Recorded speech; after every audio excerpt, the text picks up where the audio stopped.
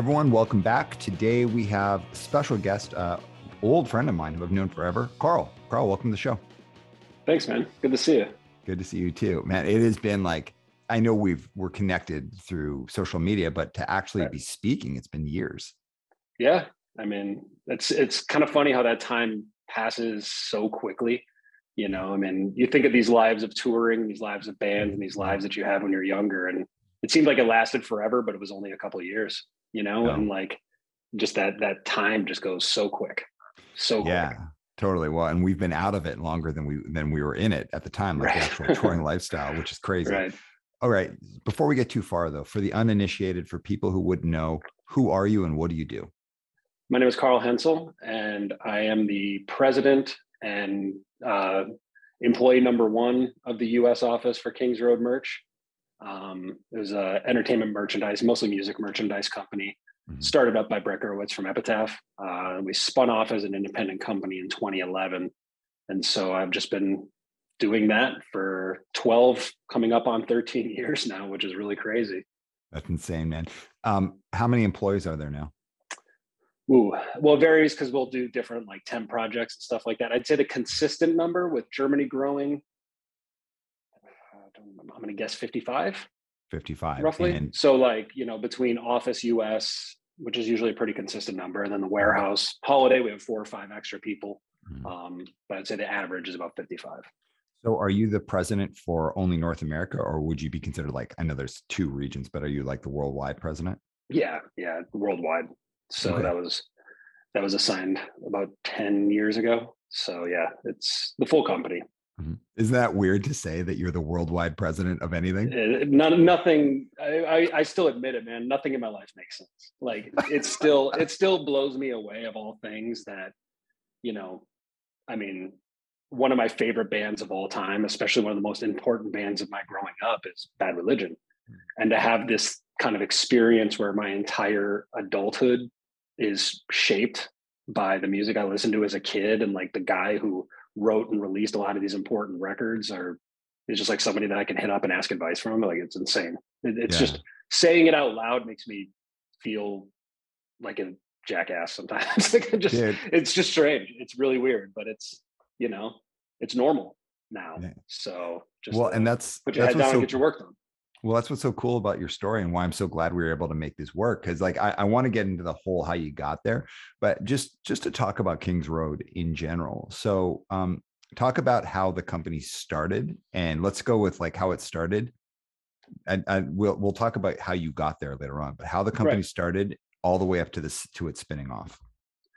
I mean, I think the simplest way is that it started, I think the idea kind of came up in 2008, um, you know, as physical music sales were plummeting, you know, precipitously for all labels. And Epitaph had a really strong era, and Brett is a really smart businessman. So, like, he's looking at the marketplace and looking at, you know, this this dwindling physical establishment and he was not afraid he's never been afraid to try new things he's never been afraid to dabble and, and take some risks and so he realized that online e-commerce had been growing and epitaph had no footprint whatsoever um, the world of major labels and bands he was up against were doing 360 deals and he wanted to kind of create a counter to that where he wasn't necessarily doing a 360 deal but he had you know a buffet of options mm-hmm. so he has a publishing up he's always done publishing he added the physical merch side and um, roughly at the same time, there was a company in Germany, uh, which I'm sure we all know, Trashmark, mm-hmm. and they were one of the biggest European merchandisers for a long time, and they were starting to get into some some troublesome situations with debt and a lot of other things that you know have been passed over by the sands of time. And there were some employees looking for a job, so the Europe division of Epitaph hired some of those people to start up Kings Road Europe, and then the U.S. So it was kind of like there were two independent things, but it was the same idea. And um, he had hired a couple people and they didn't work out and just couldn't get anything off the ground and had different levels of experience. And then uh, it's kind of surreal, but he literally called me out of the blue one day. Um, and there's there's other facets to the story, but mm-hmm. basically, like, you know, I was working at Bridge Nine at the time, and uh, he found out that I wasn't the owner, wasn't the partner, and then hung up and called me back the next day mm-hmm. and uh, offered me a job. He sniped you.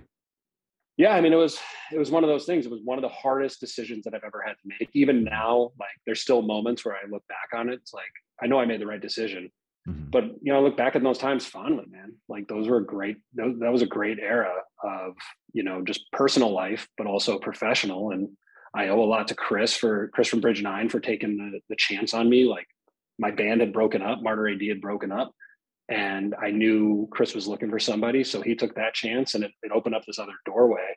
And um, you know, I'm still here 13 years later. It's kind of it's it, it is what it is, you know. Yeah. Um, well, no, Chris Chris took the leap, and also you took a leap with him. You know, you put like your your future in his hands, and I think it paid off for both of you because you did great stuff when you were there, and we'll we'll get into all that. Yeah. Um, but you took another leap and of course chris being the guy that we know he is i know he's happy for your for your success and he's gone on yeah i mean we've we've things. seen each other in person since then and it's mm-hmm. it's all it's all fine um you know it was a hard it was a hard transition i think but at the same point in time like uh you know years later it was done fairly and you know we're on we're on good terms and stay in touch so it's all good Oh yeah. All right. So let's go back to the beginnings of Kings Road. Yeah. And for anyone who's um, new to the game or hasn't really heard about Epitaph Records, like Epitaph, there's multiple generations of right. people who could say Epitaph Records was like a huge part of my life. Myself, yourself, like the people sitting across from me right now, like, you know, like the footprint of that label is just unimaginable. The band roster, and even though there's a lot of stuff on there that I I would like I wouldn't sit down and listen to. Um, in later years, it's undeniable about the um, artist focused approach they've had, the business acumen of Brett, like all of those things, really inspirational. Right. So you get this phone call. He's like, "Hey, come do this thing." You agree. You relocate. Tell yep. us about day one. What was like day one like when you when you're in this brand new business? Uh, it you know the craziest thing was i knew what i had to get done so i i drove out my wife was five months pregnant we mm-hmm. drove from we were she was going to grad school in memphis at the mm-hmm. time so we drove our moving truck with our dog and five months and her ankles swelling up to the size of you know her head pretty much i mean it was insane and driving through the desert and it's 95 degrees on the arizona you know Arizona California border, struggling to get up that pass once you cross over from Arizona into California. And so I get out there, I unload everything, and uh, you know move in. And that first Monday, I still remember the day. I was like, all right. Uh, the, the task was to get the web store like really up and running because at that point all they had done is like little pre-orders here and there and so it's like i had to learn what software they were using it was a proprietary software so it's like totally different from anything I had done before. And I just went to the warehouse and I got boxes of records and boxes of CDs and started doing data entry and just started filling in the store. And then we got to the point where we had enough of the key titles in there. And I was going through the warehouse and it's like, oh, I found 500 Punk in Drublic on green or whatever the color was. Oh, I found 500 Suffer on red. Mm-hmm. All these records had been pressed like a year, two, three years before that and just been sitting in the warehouse and nobody had done anything with them. And so, in a way, it was almost like I had a cheat code because literally anybody who knew how to use, you know, the most basic internet could have typed catalog number, price, and hey, it's Punk in Drublic. Buy yeah. it. Yeah. And that was it. like, and so the store went bonkers that first weekend. I remember we launched over Labor Day. So I'd gone out there August 3rd. I still remember the day. Mm-hmm. And Labor Day was almost exactly a month later.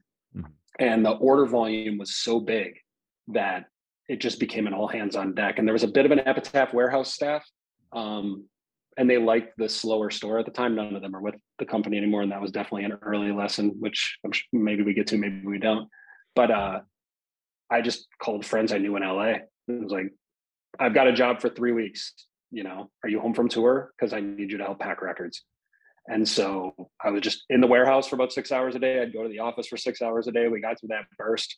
And then um, just went from there. It was really hitting the ground running and then improving the software, improving the kind of the way the warehouse flowed. It was very web focused because the company had already lost some money and Brett didn't want to put a ton of money into it. Mm-hmm. And so the the focus was really building up e-commerce because a lot of the major merch companies didn't really care about e-commerce. It's the hardest segment of the business to do correctly. It's the least profitable because it's got the most hands on deck. It's the most capital intensive, the most time intensive we kind of figured that was where we could kind of carve ourselves out. So once the Epitaph store got going, got a couple other big pre-orders going. Um, Converge was an early client, mm-hmm. you know, in the process of coming out to California. Had some really good conversations with Jake before leaving Massachusetts, and then that led to them coming aboard. Um, Brett had just signed Frank Turner, who I was actually trying to sign at Bridge Nine at the time, and then we almost had him, and then somebody named Brett Gurewitz called him, which is kind of funny. so uh, I remember talking to him about it, and he's like, it was about a two months before I got my call. He's like, hey man, sorry, uh, Brett called. What am I supposed to do? Yeah. Like, you signed with Brett. Mm-hmm. Like you don't even have to apologize for it. You signed with Brett Gurewitz. Yeah. And uh, obviously that worked out well for him. So he was an early client. So we had enough to kind of keep us busy and keep us out of trouble. Trouble. And then, you know, one thing leads to another, you know, and uh, you know, a couple years later, got in touch with Bill because I was always Descendents were always a band that I felt like didn't have a strong presence and they did their own merch for a long time. Mm-hmm. And so I had a couple really good conversations with him and they came aboard and it's been awesome. So yeah, it's just it's been really gradual, I would say. Like outside of those first couple bursts, there's always been those moments where things are just completely crazy, but it's just been this steady, really steady growth and finding a mistake or finding a problem, fixing it and finding a new one and fixing. It. You know what I mean? It's just it's you don't notice it at the time. Um, yeah. So very when, similar to growing a band. Well, yeah, and uh, like actually, I, I was going to ask something adjacent to that, but let's get. I want to go back to that e-commerce e-commerce um, bit. But before we hit that, so when you started, it was just something under Epitaph. It was still like right. Epitaph, but it was like kind of would you yeah. say like almost like a division of Epitaph? It was. Yeah. yeah. And so it pulled. My email address was karl at epitaph.com.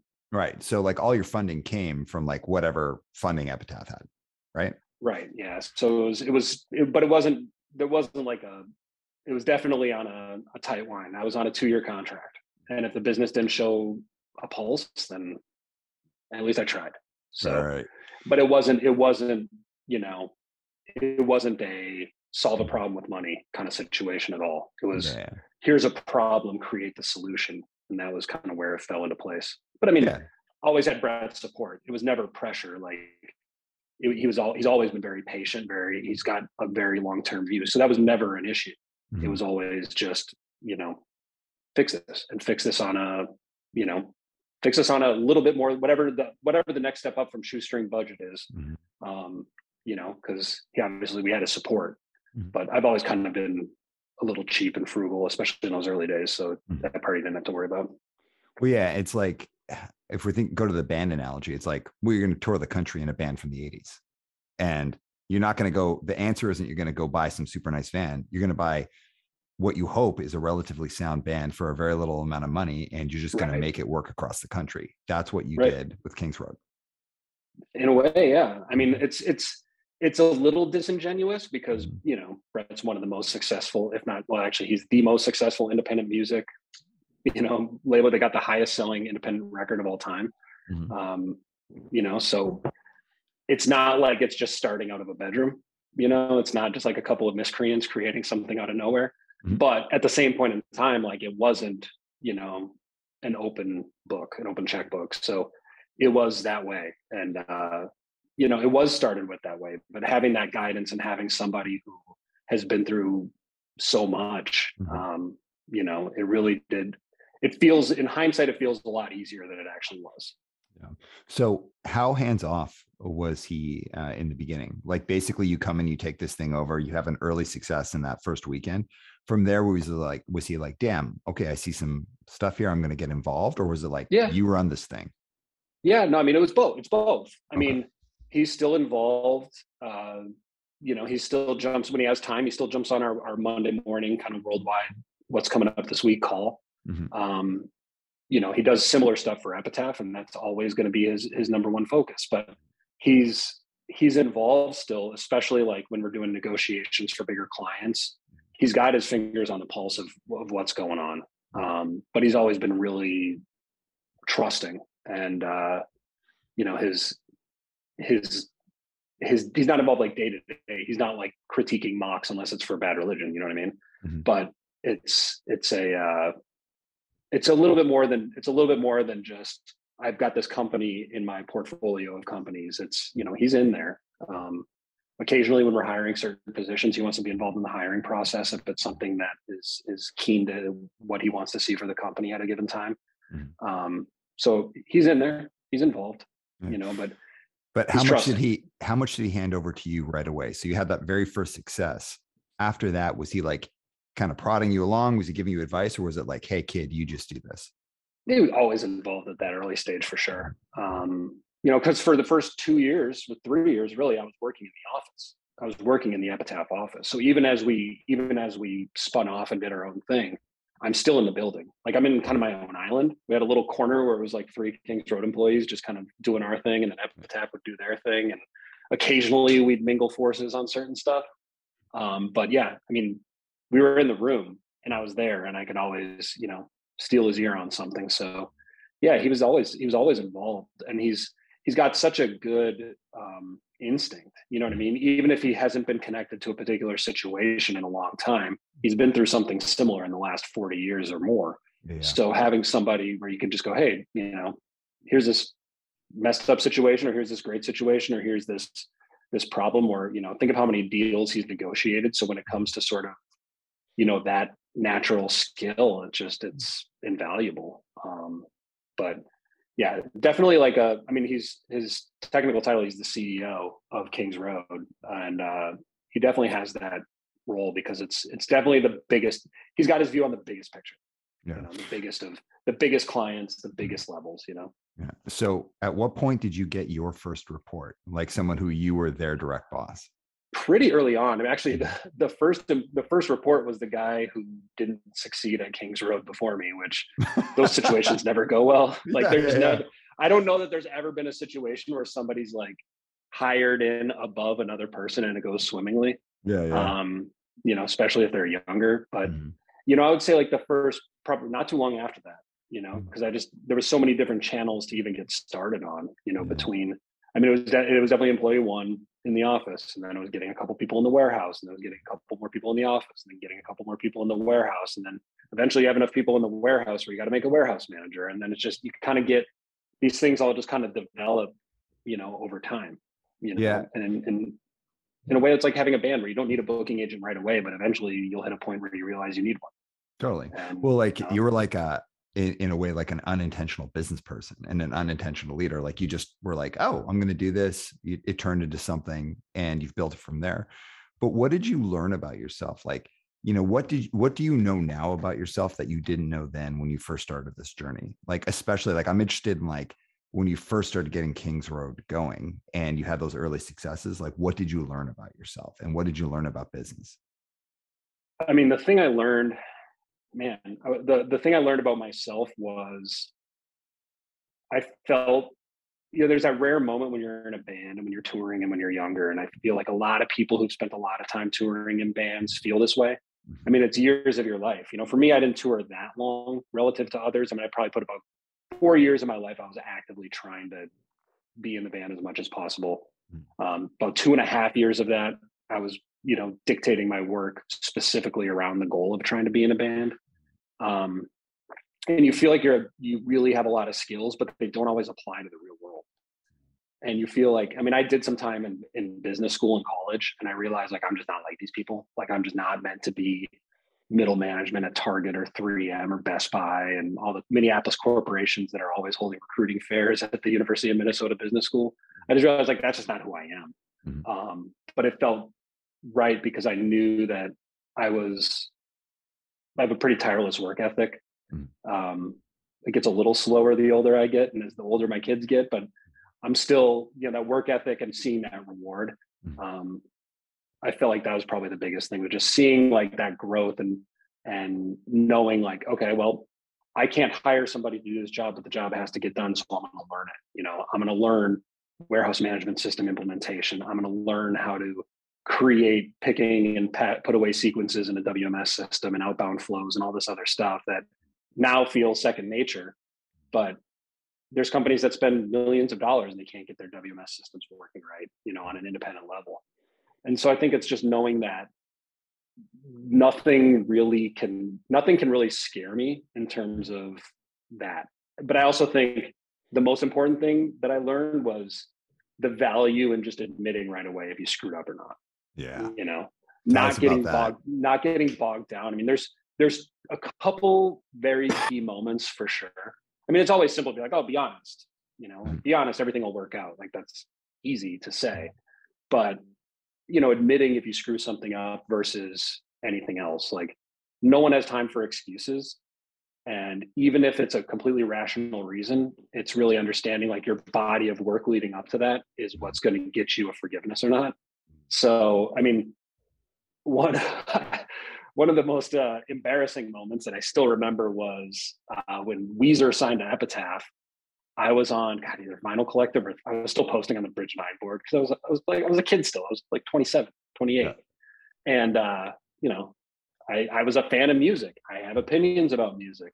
And uh, I posted that once you get once you work your way through the first song on the record, it's a great record or something to that that effect. And uh, it got passed to Rivers. Mm-hmm. Oh my god! and somebody identified who I was and where I worked and like all this other shit. And so Brett was not happy. Mm-hmm. And uh, I had to get on the phone and I basically was just like, I don't I told my I told Jen, I'm like, I don't know if I'm gonna still have a job. Like it was a huge deal for Brett. And that was even like in my mind is like it wasn't even a you know a German compliment. It was like, hey, the first song you get past the first song, the other ones are great. It was, you know, it wasn't like uh, I don't understand why this record is not good like the other ones. It was uh, it was you know while I'm holding the record, but it was just one of those things where I just had to just power through it and just be honest. And I was like, I was the whole thing about it was very understandable. And I think the next day, so I had to go go sleep through that night. And the next day, Brush was like, stop posting on message boards. Like, yes, sir. And you never did it again. never did it again. Because it's just, you know, and if I post on anything, it's just like keep your opinions to yourself. Because one, you know, it doesn't matter. And also it's just, you know, getting that it's just stupid. So that was like that was a very insignificant moment. I mean, there's things that we've made we've had mistakes on where, you know, it's one thing if a package doesn't arrive to a band on tour and the track record tracking record shows like it clearly should have been there on time. Mm-hmm. It's another thing if somebody just didn't make an order and didn't handle the job the way they should have. And those moments happen, but it is pretty easy to work through them, you know, over time. Yeah. You know, it's that's pretty much it. So you said earlier e-commerce is like a tough business and there's not a lot of not like it's hard to make money in it. And I gotta tell you, you said that I'm totally surprised by that. I thought like that's the that's the spot. So tell us more about that. Well, it's not it's not that it's the hardest. To, I mean, it's hard. It's it is the hardest, but mm. you can make money at it. It's hmm. just you got to think that as you get to a certain scale, like if you're running a web store out of your bedroom, mm-hmm. and you're packing orders yourself and you're getting a couple orders a day, mm-hmm. it's something you can just find time to do. Um, and it's not like we don't do anything unique to any other web store. You know, I always joked about that. I mean, I did a South by Southwest panel years ago where it's like anyone can print a shirt and anyone can set up a big cartel now. Anyone can set up a Shopify. There's not like some secret sauce to doing this. Where the challenge comes in is doing it at a scale where it can actually make money, like at a real level. Mm-hmm. Um, and it's efficiencies it's keeping i mean running a warehouse in la is not cheap um, but it's also where we're based for our warehouse and same thing in germany and uh, getting to a point where you can handle like if you had to you could pull your friends together and pack 300 orders in a day well you got to get what if you have 300 the next day and what if you have 300 the next day and what if you have 300 the next day oh and then some of those packages don't show up some of those packages get lost some of the packages get destroyed now you got to handle customer service. Now you got orders coming in, orders going up. Up, we got to get a pre-order up. Uh, stock isn't going to be here for two months. You got to administer that differently than anything, just like your normal ones and twos. And the the reality of running a warehouse is that it costs every time somebody's hand touches a product or a shirt or a box, it costs you money. And you got to think about how do you do that in a way that's fair, that makes you know, employees want to show up and feel like they're not just you know grinding out in an amazon warehouse but there's actually like a place they can go. And then also at the same point in time you have a sustainable future. And it's just web store web store hosting costs money. There's a lot of little things like every shirt on the shelf that hasn't sold yet you paid so you got to make sure you're not over ordering um, and that's a lot of companies have that problem just like over ordering inventory or not manage those different ebbs and flows because within our warehouse, we have three different types of businesses. You know, you have your ones and twos of web store, you have your dozens of wholesale orders, you know, where you could have 300 items in an order and one or two of them per SKU, you know, shirt and size. So it's just a lot of different stops in a warehouse. And then you have tour orders, which are, you know, cases of similar designs. And uh, they all require different strategies. So it's the focus for a lot of the major merch companies was always touring mm-hmm. because it's the same amount of work to pull a box of 100 shirts off the shelf as it is to pull that single shirt out of a box. Mm-hmm. You know, you're that person's going to that location. Just a matter of how many of them do they take with them. So, how did you figure out how to scale them effectively so that it was a profitable business? Trial and error. I mean, just continually looking at that, continually trying to avoid, you know, and you learn from it. You know, there's years where we were we weren't profitable, but we weren't hemorrhaging money. Mm-hmm. And so it's just a matter of like figuring out how do you turn that in. And there's some places that that a lot of the, the merchandise companies out there, like the actual like bigger ones, you know, the, the major label type places. The web store for a lot of those places is marketing. It's it's an online presence and it's it's just a lot of work. And I think for us, like just kind of once we figured out, you know, the scale to kind of make it where it makes sense, um, it's just keeping that keeping an eye on that all the time never you know keeping staffing in check uh, because the other point of it is that we've always paid ahead of minimum wage in la and so it's a little bit harder now because the minimum wage increases but in the early days like we were always 20 25% above minimum wage so if you were a kid and you know you are more interested in like skateboarding and music than getting a real job, like we can give you a job that actually gives you benefits and pays fairly compared to like working at a restaurant or something where some of those places won't pay you fairly. And uh, keeping that going and just it's just it's it is tireless. It's never ending. It really is like a never ending analysis. I mean, it's something we look at that quarterly and, and we look at it sometimes monthly, and we still do, you know, even to this day where we know it's automated to a lot of ways. We know we're kind of in a comfortable spot. We're still always looking at it to make sure nothing sneaks up on us. Yeah, I, am interested. So you got this thing that comes from punk. It is punk, and it's also right. a real business. Um, have you ever had those moments where you're like, as a punk, I don't want to do this? Yeah, yeah. um, there, there were moments where uh, there's there's been some times. I mean, in a lot of ways, it's almost self-selecting mm-hmm. um, because the clients that we'll talk to are just naturally going to come from our ecosystem. Mm-hmm. Um, and then there's other there's other times where it's like, you know, music snobbery is not. I I, I want to work with a band where I at least understand what their fans want, and in some cases, like you know, one of our biggest clients and one of our longer running clients is Papa Roach. And I knew them from their hits, you know, I knew them as that active, you know, that big rock radio band from the early 2000s. And hmm. I, that's all I knew about them. Um, wasn't a thing that I listened to. It wasn't a thing that was on my radar. And when we started talking to them, you know, you realize like these guys are from the same worlds as we are. You know, they're like small town dudes that were into heavy music. For them, they were into Korn just like they were into refuse. They were into mm-hmm. Deftones just like they were into Snapcase. They were into Earth Crisis just like they were into, you know, something else that would be in the nu metal world. Mm-hmm. To them, it was just heavy music. Yeah. And so, and then the drummer was in 10 foot pole and scared straight. Mm-hmm. And so, like, you start realizing, like, this, these, we're all on the same page. Yeah. You know what I mean? And then that gives you a different perspective because you realize it's like these guys have created like a, they're a big rock band still, and mm-hmm. they've been through a ton of crap they've been through like ups and downs as a band. They've gone from having a multi-platinum record to having venues 30% full. You know, they've been through these kind of these waves of a band and you realize like they're not from a different world. So those are the moments where like my music snobbery in my early life, I would be like, nah, fuck that. They're not a punk band. They're not a hardcore band. I'm not doing that. But then you realize like not not not for nothing, like they're one of my favorite bands to work with because they are very genuinely great people. Yeah. And so you get to those moments where it's not just you got to think about it from a bigger bigger perspective. If you want to be working with, if you want to keep doing this, and you want to like I would say, if you want to stay outside of the real world, you know there are limits. But we haven't ever had a moment where it's like, I mean, there, you know, there's never been a moment where it's like, oh, you. We've had moments where clients have said some borderline sketchy stuff, mm-hmm. and we had them clarify it. Like, what did you mean? Mm-hmm. You know, make a public statement.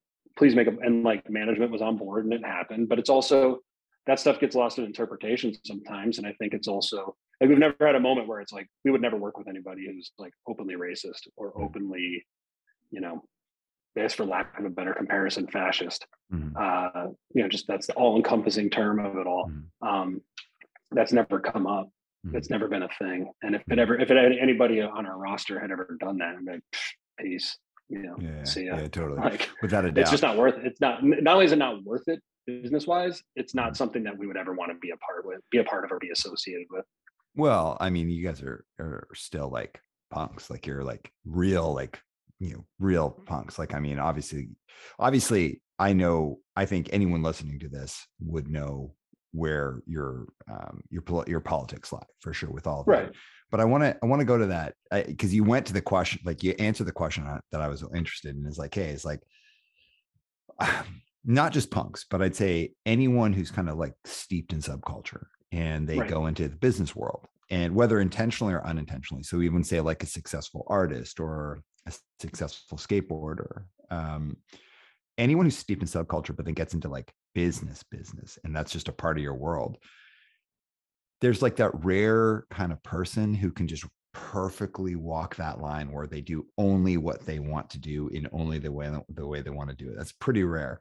Otherwise i just find there's so many people are like oh i thought that was lame and then like i really like thought about it and i learned about it and i realized oh, like I'm just being a jerk. I'm just being a snob. And like, actually, that's cool. Like, I might not like their skateboarding, or I might not like their art, or I might not like their music or their magazine, but like what they've done with it is actually comparable to what I'm doing. And that's super cool. And that, like, I don't just see that from people coming from subculture. I see it from people coming to the business world in general, like these ways that we mm-hmm. compartmentalize not, and I'm not talking about ethical things, the way that we compartmentalize like what's cool, what has taste, and the way that can be this like really limiting factor. Can I give you an example about what I do? Yeah. Um, you know, very often, and I kind of laugh at this, is like people are like, I don't even know what you do. It's like, man, how do you not know what I do? Like we've known each other for like X amount of years, however many years, not you and me, but like people that right. like I, I I see day to day. And if I tell people what I do, I'm like, I'm essentially just a therapist that works in the business world. I built up a company around me where we go and do coaching, we do training. And the thing that I hear from people very often is like, wow, you, you know, you cut your teeth in, in the not-for-profit and you work in the corporate sector. Like, doesn't that kind of suck your soul? And I was like, hell no. It's like awesome. They need someone like like me and the team that I've built up to work in there. Like we're helping people and we're doing cool right. things and we're helping business be better. And I always get kind of stuck in that idea of like,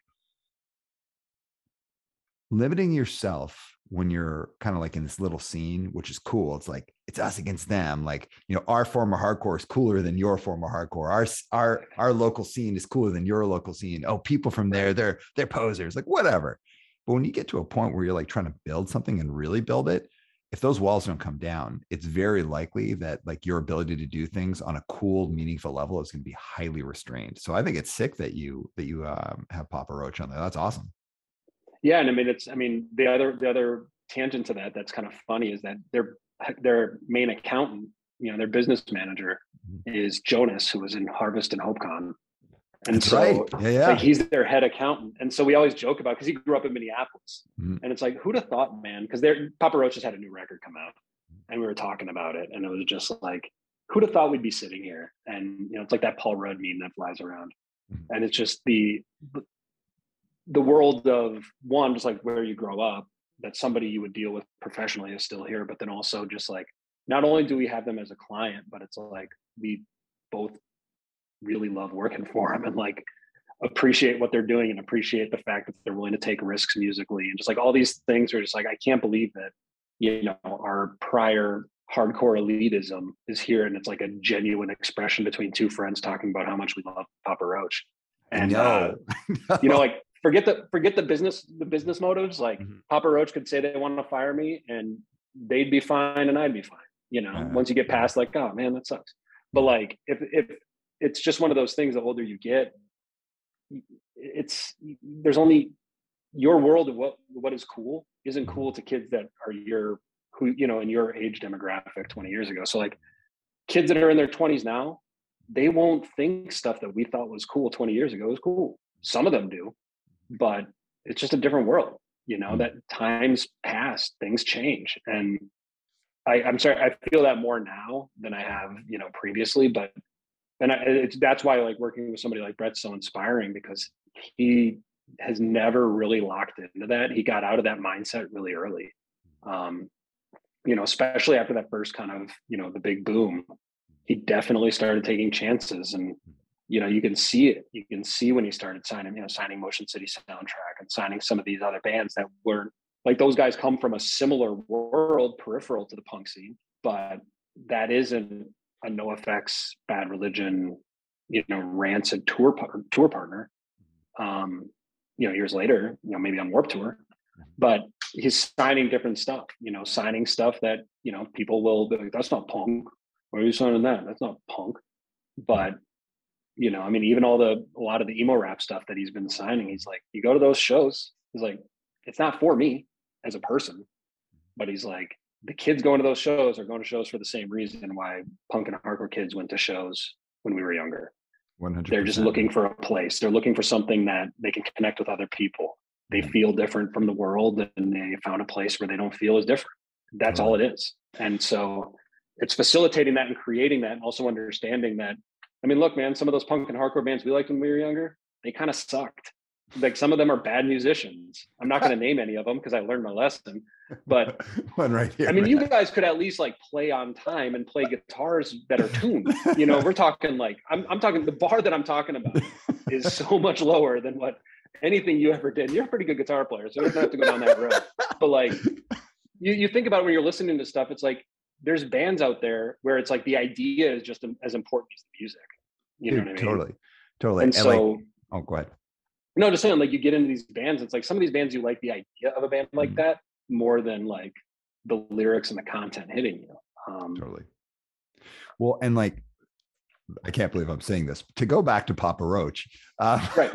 like, I remember when they were like the big record they were on, whatever it was. I believe one of their guys in the band, like, I maybe their original bass player was Straight Edge. Like, they had a kid in like I- that. I think so. I think that I think you could be right. Maybe back in the time, I've never asked them. They had they had Um, some kind of connection. There was someone who was somehow connected to them that like literally came from like the hardcore scene or had some kind of like was was in the know. And right. I never forgot that because I like, you know, you're young, you're kind of like, oh, all this being said, blah, blah, blah, blah, blah. Right. But many, well, a few years ago, let's say, I guess it was about 2015. I was in uh, I was in Las Vegas with uh, a bunch of friends. Uh, it was Chris Williams and his partner and my partner at the time. And and um it might have been 2014. I can't remember. It was New Year's. We just we all decided, which is strange, bizarro, a bunch of straight edge people. kids. Let's go to Las Vegas for New Year's. And we're there and we're just kind of walking through old Vegas and we come across a free outdoor out, outdoor live show and it's Papa Roach. And like Nice. I we're just like kind of like, you know, oh yeah, like we'll watch it. Just kind of thinking like we're being corny. Man, we all, and it was funny because like our feet are tapping, our heads are you're looking at each other's side eyes. And then we realized we all knew all the lyrics to all of their hit songs. And by the time it's they- crazy. by the time they played Last Resort, we were like full on having a great time. We're singing, we're dancing. Some lady with like a cigarette like started waltzing with me. It was like one of the funnest nights of my life. And it's just funny how like not just punks, because I don't want to just say that, but like if you get too steeped in any any kind of culture, go and then you go into the real world, it's like, damn, like you're missing all these cool opportunities that you can still see things through the eyes of culture and through the eyes of, let's say, business school or the things that you've done. But if you don't open your eye, your if you can see it through the eyes of that, but if you don't open your mind to experiences, then you're just living in this walled off little place. And I think it's just such a shame because there's so many cool experiences you could have. And, and that's why I like I, I love your story about Kings Road. And I think that Papa Roach uh, example is absolutely perfect. Um, I do want to um, uh, I do want to ask you um, one of the when you talked about like new bands that Epitaph was signing, Yeah. I, one that stood out to me at the time was Bring Me the Horizon. Right. And I, I can literally remember sitting in front of my friend's computer because I didn't own a computer at the time and looking at the computer and be like, bring me the horizon. What is this this is terrible. And they've gone on to do all of this totally crazy stuff. But Brett had a way, and I imagine still has a way of seeing around the corner of what will be and then investing in that and then bringing everyone along for a ride and bringing the culture along for the ride. For me, that's not just smart business. That's like that's like community building. That's like creating uh creating a home where good business can be done and you can have like a good creative presence. I, I think it's like in retrospect i laugh at how judgmental i was. Yeah i mean i think it's also it's one of those things where you know we were talking earlier about you know most of my music business world can be traced i mean can, you can trace everything back multiple steps if you wanted to. But i would say that uh, on the actual functional business level, it was really when I was in Martyr AD. I mean, a little bit, there's a little bit of holding on stuff. I mean, actually, like one of the things that I still vividly remember was we knew we were breaking up on our last tour. And I, we were in Boston at the, the office right by Fenway. And I sat down there with Chris and I was like, hey, how much money do we owe you?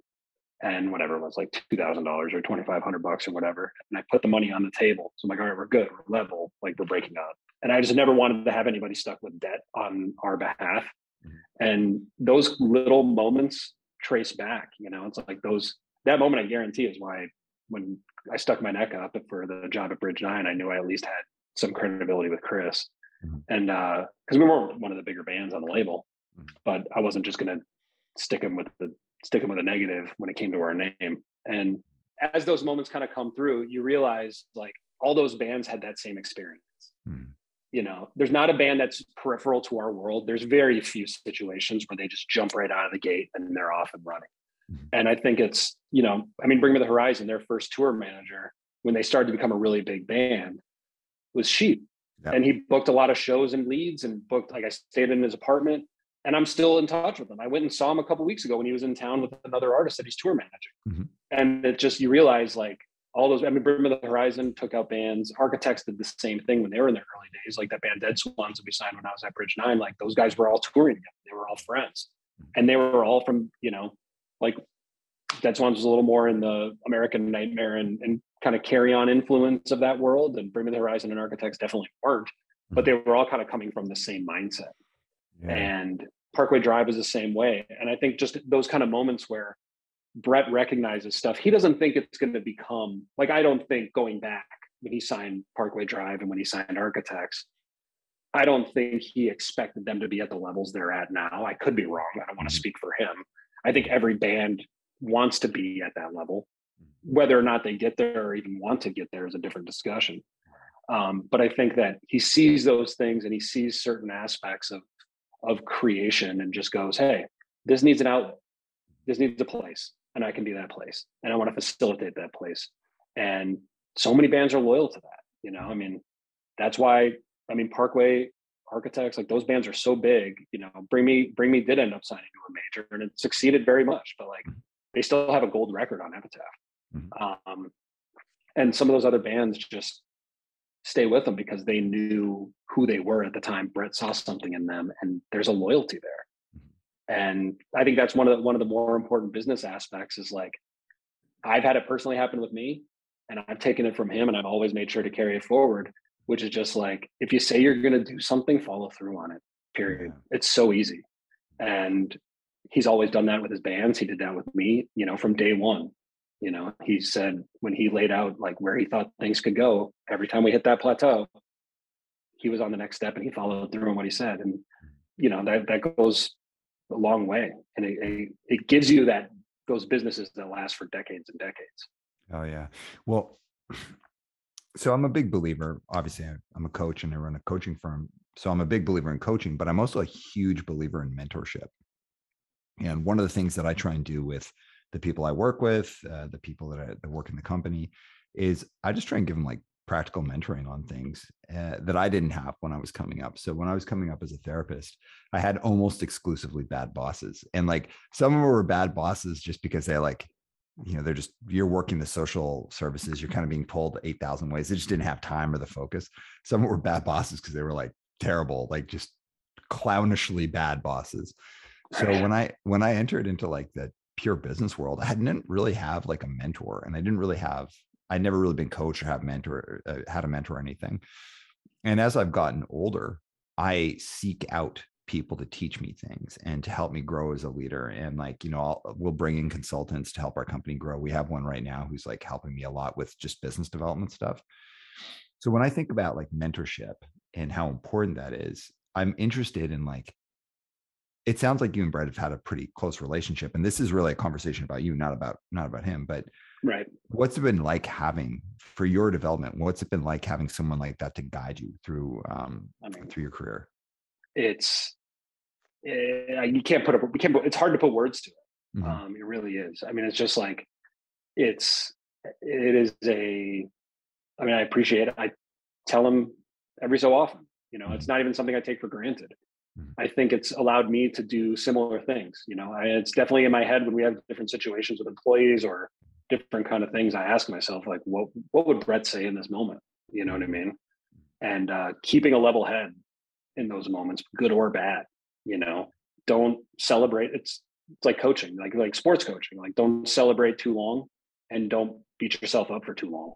And uh, you know, I think that those kind of those kind of moments are, are key. And it's allowed me. I mean, a way you know, watching how. I mean, he's had some employees that have been with him since the very very beginning. I mean, Jeff wears Birkenstocks is an Epitaph employee from the No NOFX song, and he still works there. You know, he was the first employee and he's still there. And uh, I mean, he's been with them now for what, 30 something years. So there's a certain level of that, which is just sort of, I want to make sure that we have that longevity. I want to make sure we have that kind of loyalty. And we have, we have a lot of people that have worked with Kings Road from the early days. I mean, our head accountant started, came out for customer service, you know, band broke up, wanted to move to LA, started in customer service. We didn't have a lot of money, but there was a period where because our warehouse where it was located, we could actually pay for him to go get his accounting degree from UCLA mm-hmm. and finish that up. Mm-hmm. And it was cheaper than if we would have given him that money as a paycheck. Mm-hmm. And he saw that and he's still with us. Um, and so, you know, key people started out in the warehouse. Now they're, you know, the head of our our artist relations and project management teams. He started out in the warehouse. And he comes from the band world. He worked at labels, like he's done a bunch of stuff, but you realize like having that experience working at labels, especially independent labels, you're not getting paid that much. Mm-hmm. And so, you know, working in a mail order warehouse really isn't much of a step down from working at an independent record label in a lot of cases. And as those things have grown, you know, people see that and they go through those moments and they have people within the company have people that can teach them, you know, and it's a really key thing to have different levels of experience, but it all comes from, you know, maybe they're not having the same one-on-one conversations with Brett, but I think like creating that, it's hard to create a culture like, you know, in our warehouse, we had a really hard time creating a really positive um, culture. Like there was a lot of, you know, a lot of it starts out where like, people are just like giving each other a hard time and, and cracking jokes and, and, you know, it's like being in a van mm-hmm. where people are just kind of like, it becomes one day the joke isn't funny anymore and you never know when that day is going to come Mm-hmm. And that just kind of creates this, you know, creates a world where, you know, maybe somebody's not working as hard and they're not, no one's coming down on them. Nobody's like speaking to them. They just kind of exist.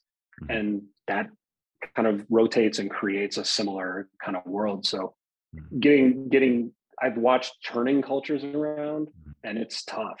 It's hard. It takes a lot of time. It takes a lot of patience and uh, understanding that it's a long-term a long-term project um, you know those those kind of things get handed down. But now you know our warehouse manager started out one of our first warehouse employees hmm. and he wasn't one of our best warehouse employees and he'll be the first to say it. And uh, but once he saw the company growing and he saw the warehouse manager that we had one of our first ones not really doing a great job and kind of leaning on him um, and he had a kid on the way he really changed how he was operating changed how he, he carried himself and he's absolutely an integral part of our team now. Um, and so creating that world where people know not only is it there's a patience to things people never get fired for mistakes like a single mistake will never get you fired. Mm-hmm. and making sure people don't feel like they're afraid of their jobs is a very key thing and all that it all rotates around each other you know? Yeah I, I wanted to ask you you brought up something about kind of like being the person in the van who gets picked on you know and i like some of the things that I look back on, like there's not a lot of things I regret in my life, but there's things I look back on. It's like, you know what it's like. you're in a van and you're in a van for weeks and weeks. And right. there's that one person who does that goddamn thing over the time. And they just, everyone starts clowning on them. And I'll never forget, there's two guys that I always think of. I'll leave their names out of it. Now, the first right. like ever real North American tour uh, I ever did, this one dude just got picked on mercilessly. And it was my band. And I was like, you know, the band dad. I was like the, the head of the band, I guess you'd say. Right. And even though everyone was picking on him, it was really my fault. It was really on me. I could have stopped it. And if anything, I was kind of like the instigator because you know you're a bunch of like guys being together. You got that weird toxic thing going on, right? Right. And at the time, I remember thinking like, I lost a friend over that, and like we're still we've never been cool since. I mean, it's been like 20 years. We've never been cool, and, right. and I don't I don't blame him.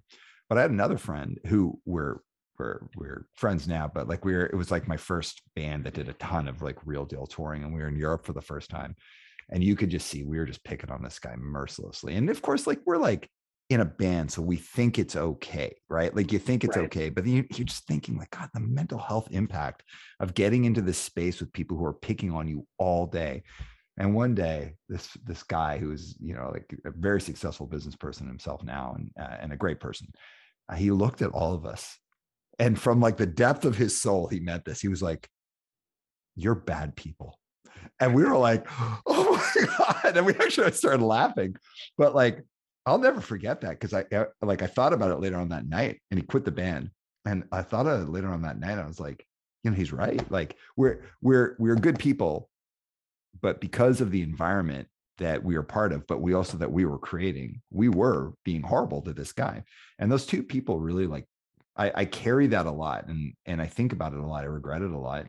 The reason I'm talking about this is like there's a bunch of stuff that you learn from punk that help you do things, right? Like, oh, I learned how to you know build up a business on a shoestring i learned how to like you know like make things work i learned how to problem solve but there's the flip side where like and i don't want to just say this about punk but like traveling around touring you can have like such a toxic culture within a group of people but it's different when you have a company and you know how it can yeah. be in a band. So what did you learn from that, from that kind of toxic culture that can happen? What did you learn about that that helps you prevent it happening at Kings Road?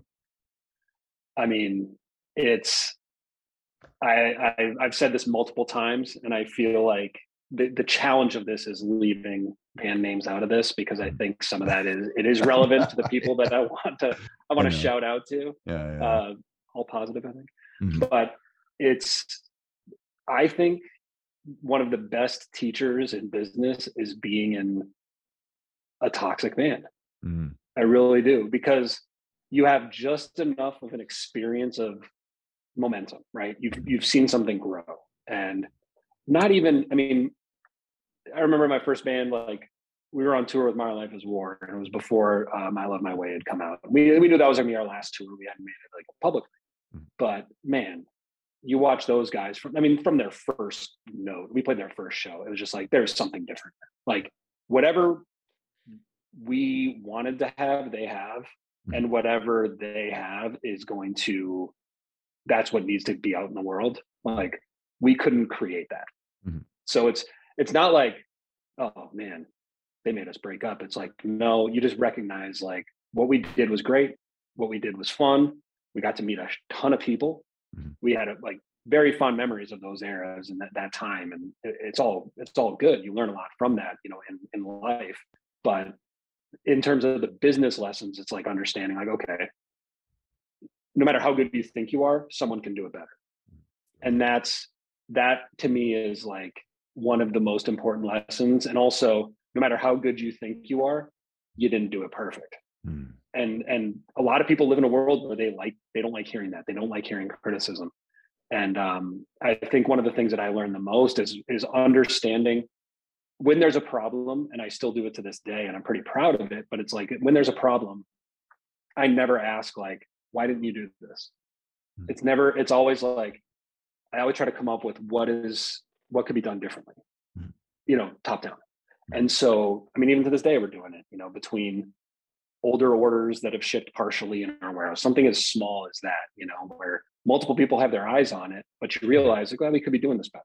You know, I know our shipping stats. I know how accurate and how on time our shipping stats are. Hmm. But when I see somebody who's in, like, I know for a fact, 99.5% of our orders are shipped totally fine. on time, barring COVID uh, and other d- supply delays. But I know everything is shipped accurately on time, 99.5% of the time. I know that. But when you're doing so many orders, that half percent, they're not lying. You know what I mean? Now, some of those, some of them are, you know, kind of delusional, but there are some people who have very valid things. Like if you email our company and we screwed something up, like, well, like, how can we make this better? Like, mm-hmm. you're totally right. We sucked at this one time. Like, we need to fix this. And I take that personally, and I do that in my own daily life. Like, how can I fix something, or how can we fix something collectively? And it's not like, why did you screw up? Why didn't you do better? You know, there's no, nobody likes that. Nobody gains from that, and there's no positivity that comes from it. Mm-hmm. And it's just like always being aware of the fact that admitting you're never perfect, but you do things pretty damn well. And you know, there's gonna be somebody that can do it better. So make sure you don't get complacent. And it all comes from being in bands, you know, being in a band and wanting to look at like, oh, I wish we were at that level. Mm-hmm. And then you get to that level and you realize like, oh, it's not actually that great here. I want to be at that level. Well, mm-hmm. you know, it's different in, in business for sure. Mm-hmm. Uh, there's less variables that way, but that same kind of thing of just you know, if you set a goal and you get to it, what's your next one? You know. Totally. Well, I think of I think a lot of business stuff and being a business owner. I think about it a lot like playing shows or like a skate competition or um, a painting that someone's uh, painting. You're only as good as your last success. And like every right. time you play, you're earning your spot like every time you you're in a skate competition you're earning your spot every time you paint you're earning the eyes that are going to be on the painting and like the positive reviews or the positive impressions you have and i don't say that from a place of like people should be anxious about it but like i think the idea of complacency is like oh yeah like i'll just tuck into this and go cool that's great you've you've found where you're employed but that's not like your job you know like your job when i think of a job i think of like what's what am i here for what's my purpose like what am i like i didn't I didn't really know what my purpose was like deeply until I started this company. Now it's like, oh, every day I know what I'm doing. It's like my purpose is to be a father. My purpose is to be like a helper. My purpose is to be a, a good business owner, run a good business, have like practical things that help people, but have like you're kind to your employees. Up until that point, I was just doing jobs, you know, or, or like, um, like, uh, yeah, I was just doing jobs. I was just filling up space. But then when I found my purpose, it was just a totally different thing. And it makes me every day want to earn my spot. So like when I was playing in bands a lot, you know, I loved playing with bands that were better bands than us that had crazy live show that were like totally would blow us out of the water unless we totally brought it. Cause I fully believe you have to earn your spot in all things all the time. And that's like, I don't know, that's like the churn of life that's interesting because you gotta you gotta bring your A game into things. Right. And I think, I mean, for me, the I've been very, very lucky in my adult life because the only I mean, even when I was in bands, I was working at Radio Shack selling cell phones and I spoke Spanish pretty fluently. And so like I enjoyed that as much as one could enjoy working at Radio Shack, mm-hmm. but I was always just keeping my eyes on trying to be in a band. Yeah. So there was always that other distraction. So I never really thought about that. That was just a means to an end. But as I as the band world wrapped up, you know, pretty quickly I, I wanted to be involved in music somehow. I just didn't know how. I mean, I was like turning 24. I was young you know, in, in the grand scheme of things, I was really young to to be in that crossroads. And there were some opportunities to tour in bands, but I just realized like I don't know that I'm cut out for that long term. Mm-hmm. And so having that um purpose, you know, my purpose working at Bridge Nine was very clear the whole time. Like I always had something that I could, you know, tangibly connect with. And mm-hmm. same thing, you know, from Kings Road day one. Like I, I've never had a slow day mm-hmm. since I started, like not once sometimes it's been a little too busy, you know, but those moments are appreciated in hindsight. You know, it's it's fun now. I can talk about how my appendix was triple the size of a normal appendix, and I was working 18 hour days because uh, we had to fire five people in the warehouse, and the orders had to get picked. And uh, you know, now it's funny. At the time, it wasn't, but it's just those kind of things you you course your way through and, and mm-hmm. finding that that purpose and now my purpose to me you know being my age and still working with bands that i was either friends with when i was younger or bands that i grew up listening to or bands that i appreciated before we started working with them it's like mm-hmm. a lot of them are older a lot of them have families they have other businesses that they're invested in but this is their main thing.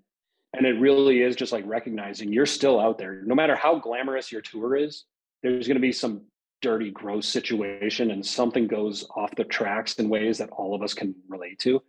Um, you know whether it's bags go missing from the airport or whether it's the the trailer on the bus blows a tire. It's not the van trailer that blows a tire but the bus trailer blows a tire and you're still in the middle of north carolina whether you like it or not and you're away from your kids.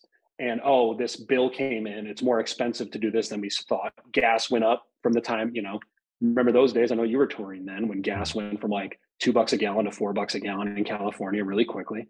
And so you just have these moments of surprises and eh, that level of band. I just want to make sure that i'm doing everything i can mm-hmm. so that they continue to move on and keep going and not necessarily like i'm not like sacrificing myself. I'm not creating myself as a martyr but mm-hmm. it's recognizing what it takes to get there. And really what it takes like even for bands that are playing you know two to three thousand people a night mm-hmm. recognizing what sacrifices that takes to be out there. You know they're not at home. They're not sleeping in their own bed. They're not with their families. Yeah they're on a bus. Sleeping on a bus isn't exactly comfortable. Mm-hmm. living in a living in a bus with 12 other people isn't private. You know you're not getting a lot of downtime. Mm-hmm. And just making sure like when i'm around that world I want to make the tour manager's life as easy as possible because I know what they're giving up. Mm-hmm. You know, I want the tour managers to like me and to never talk to me. Because if the tour manager has to talk to me, something went wrong.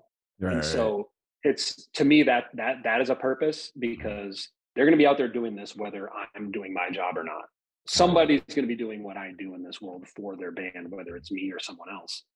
And so just recognizing like I don't take any of that for granted when I see bands on on tour and I see, you know, you, people have this misconception of what being on tour is, and it's not Motley Crue the Dirt. You know, maybe there's some bands that live that way still, but it's a lot of theraguns now, and it's a lot of yoga mats and stretching, and it's a lot of people who are just, you know, trying to preserve their bodies so that they can mm-hmm. keep doing this. You know, yeah, yeah, and, totally. and I don't. I think that to me is, it's not. I'm not changing the world doing what we're doing. Like we're not making. I don't think we're making the world a worse place, mm. but I don't think we're like creating some sort of you know benevolent future by any means but we're creating a way for bands to exist for people mm-hmm. to support their bands and doing it in an honest way and that's that to me is just as good because it's like i can still sit here and wear a descendant shirt to work and feel like i'm you know i'm dressing up for the part yeah know? man well you're and that, that, part's fun like that part's yeah. awesome and i don't yeah. you know i got friends who you know they have really successful jobs but it's still kind of funny that you know we're still here so yeah um, all right, let's pull it back to uh, to your early days. So you grew up in Minneapolis, is that right? Yeah. Okay. So how did you find punk and hardcore in the first place? I mean, I think it just I was into aggressive music from an early age. Mm-hmm. You know, mm-hmm. I remember uh, I'm going to date myself, but I hadn't yet started fourth grade when the Black album came out. So the year of the Black album, The Illusions, Nevermind, all those records kind of coming out in that same bubble. I was in fourth grade. So I remember, and I remember going to get, I remember the Black album being like, I got to get this. So that was like on my radar as a thing. Hmm. Um, you know, I, I think back now it's kind of funny that I was in a after school daycare program at the community center and the main teacher there would let me listen to Guns N' Roses Appetite for Destruction during quiet time, which in hindsight, I'm like, I think that's pretty awesome. But as a parent now, I'm like, I mean, they, there's things I didn't understand until later in life, right. uh, and that record still rules. But it's just kind of funny to think about a, a, second grader getting to listen to that record at the suggestion of a teacher. It's wow. you know only in the '80s. You know what I mean? Different but, time, uh, man. Different different times. Um, but it also has created. I don't want to be a hypocrite, so I make sure my kids know like there's a time and place for certain words, and so this isn't the time and place for them. But like, not necessarily censorship, but uh, you know, and th- those are formidable moments. Mm-hmm. Um, but then, what do I find? You find Slayer, you find Pantera, you find things that are oh, there's a little bit more of an edge to this. There's something in that that trail of those bands going back to punk and discovering the Misfits through Metallica. It all was just like heavy music. You know, it was all just something that was edgy and different and a little bit dangerous, but also there was melodies mixed in that were complex and not just like you know New Kids on the Block melodies and stuff like that. And so I think that that trail is a pretty common one. You know, from there I stumbled into Misfits, and then you stumble into Bad Religion, and then everything changed up. But I mean, Bad Religion and Descendents were two of the first bands, and then from there it's like you know, the whole door opens up and I found something, you know, and I was the only kid in my school at the time that, that had that, but I had my own little thing and I had something that connected. I got into skateboarding. And then really what blew things open for me was one town over in a different school district. One of my friends had moved away and I saw him randomly in the summer because we only got together so often. And in that year or six months that I had seen him last, he became friends with all the kids that were into skateboarding and punk in his school district. And so there was this group of about eight kids that were into the same thing I was into. They were into the same music I was into. There was the same activities like during the summer. And that was just I just ate it up. And then discovering bands like Dillinger Four from Minneapolis at that time. And that the Minneapolis scene in that moment was so vibrant. It was small. It was all basements. But there was so much diversity between Dillinger Four, Man Afraid, Disembodied, and then even like Code 13. And you know, then you dig in all around that, you know, Threadbare, Harvest. Um, there was a lot of creativity coming out of Minneapolis. I mean, it was so accessible. Mm-hmm. And it just, if you're a 14 year old kid and all that stuff is within a three mile distance of your parents' house, it's pretty hard to avoid it, you know? Um, and you just find your place. And uh, from there, I was hooked. Yeah, so totally. And then it's just that nonstop pursuit of it, it becomes like a drug. It's like the nonstop, the next high. Like, what's the next record that's going to blow my mind? Because it happened before and it happens it happens every couple months and it just becomes a never ending chase for that mm. that music or that experience you know? That just gets gets you pumped up. Yeah uh, and shout out to man afraid uh, i think it's cool that they recently did some stuff together so that's uh that's good. It's good that they're they're paying tribute to their to their singer who passed away so that's cool. Yeah. Yeah, yeah no those it, it was an honor. We actually got to play with them and it was a cool man i had i pulled no punches about telling them what I thought. So that's awesome, man. Uh, I remember that's one of the first things you and I connected on was your Man Afraid tattoo. Yep. Um, and uh, yeah, no more, no more Man Afraid talk. We'll get derailed. Okay. Okay. so you start playing in bands. In your bands, were you always kind of like the the business person? Not really. Mm-hmm. I think. I mean, in my first first band, mm-hmm. it was just four high school kids, and we just wanted to play music. And it was just a never ending democratic, like, okay, whose car are we piling stuff into? Our singer, like the first shows we played, I, none of us could drive except for our singer. And so it's just sort of figuring out how do we get our stuff to the show. Uh, one of the guys had a mom who was pretty supportive. So we loaded up the minivan every once in a while. Um, there was no business to that though. And then holding on era kind of, but I would say that the other guys, they were just older. I was pretty young still. I mean, I started playing that band when I was 16.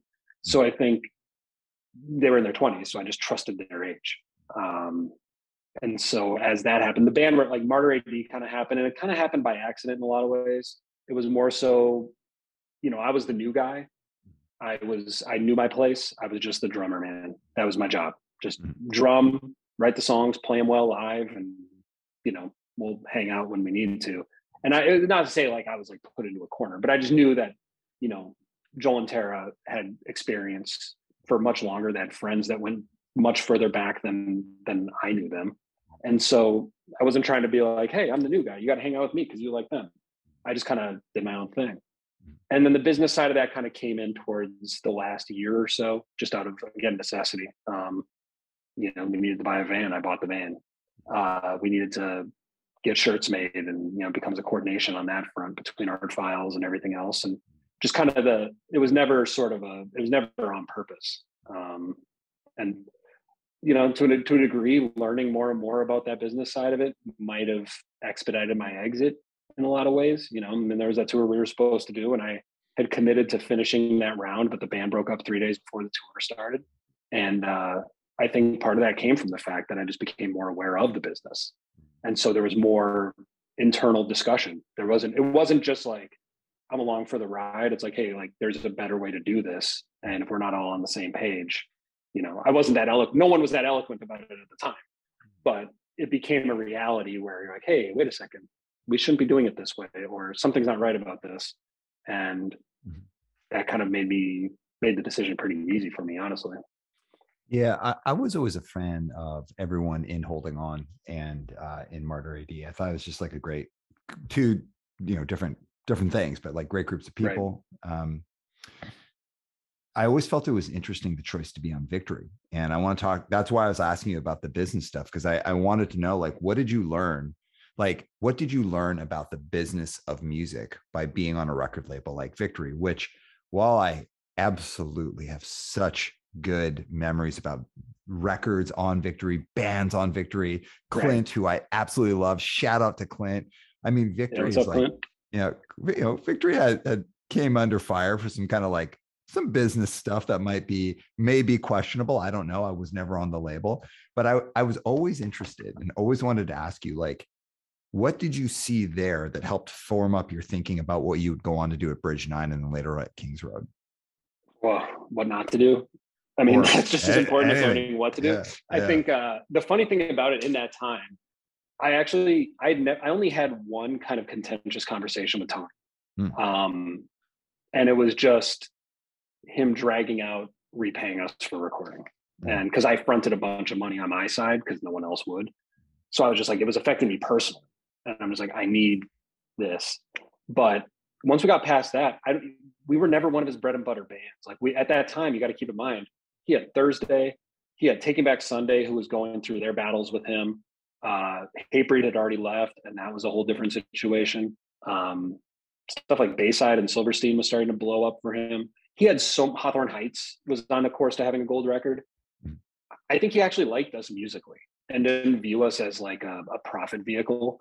And whether or not like we could have a normal, relatable conversation, we never really had a battle about anything because my first real business foray into this was our contract promised us $3,000 a month in tour support for whatever the definition of tour was. I think it was 14 shows in a consecutive 20 whatever day block. And so that was considered a tour, and the label was supposed to give us $3,000 to help facilitate that.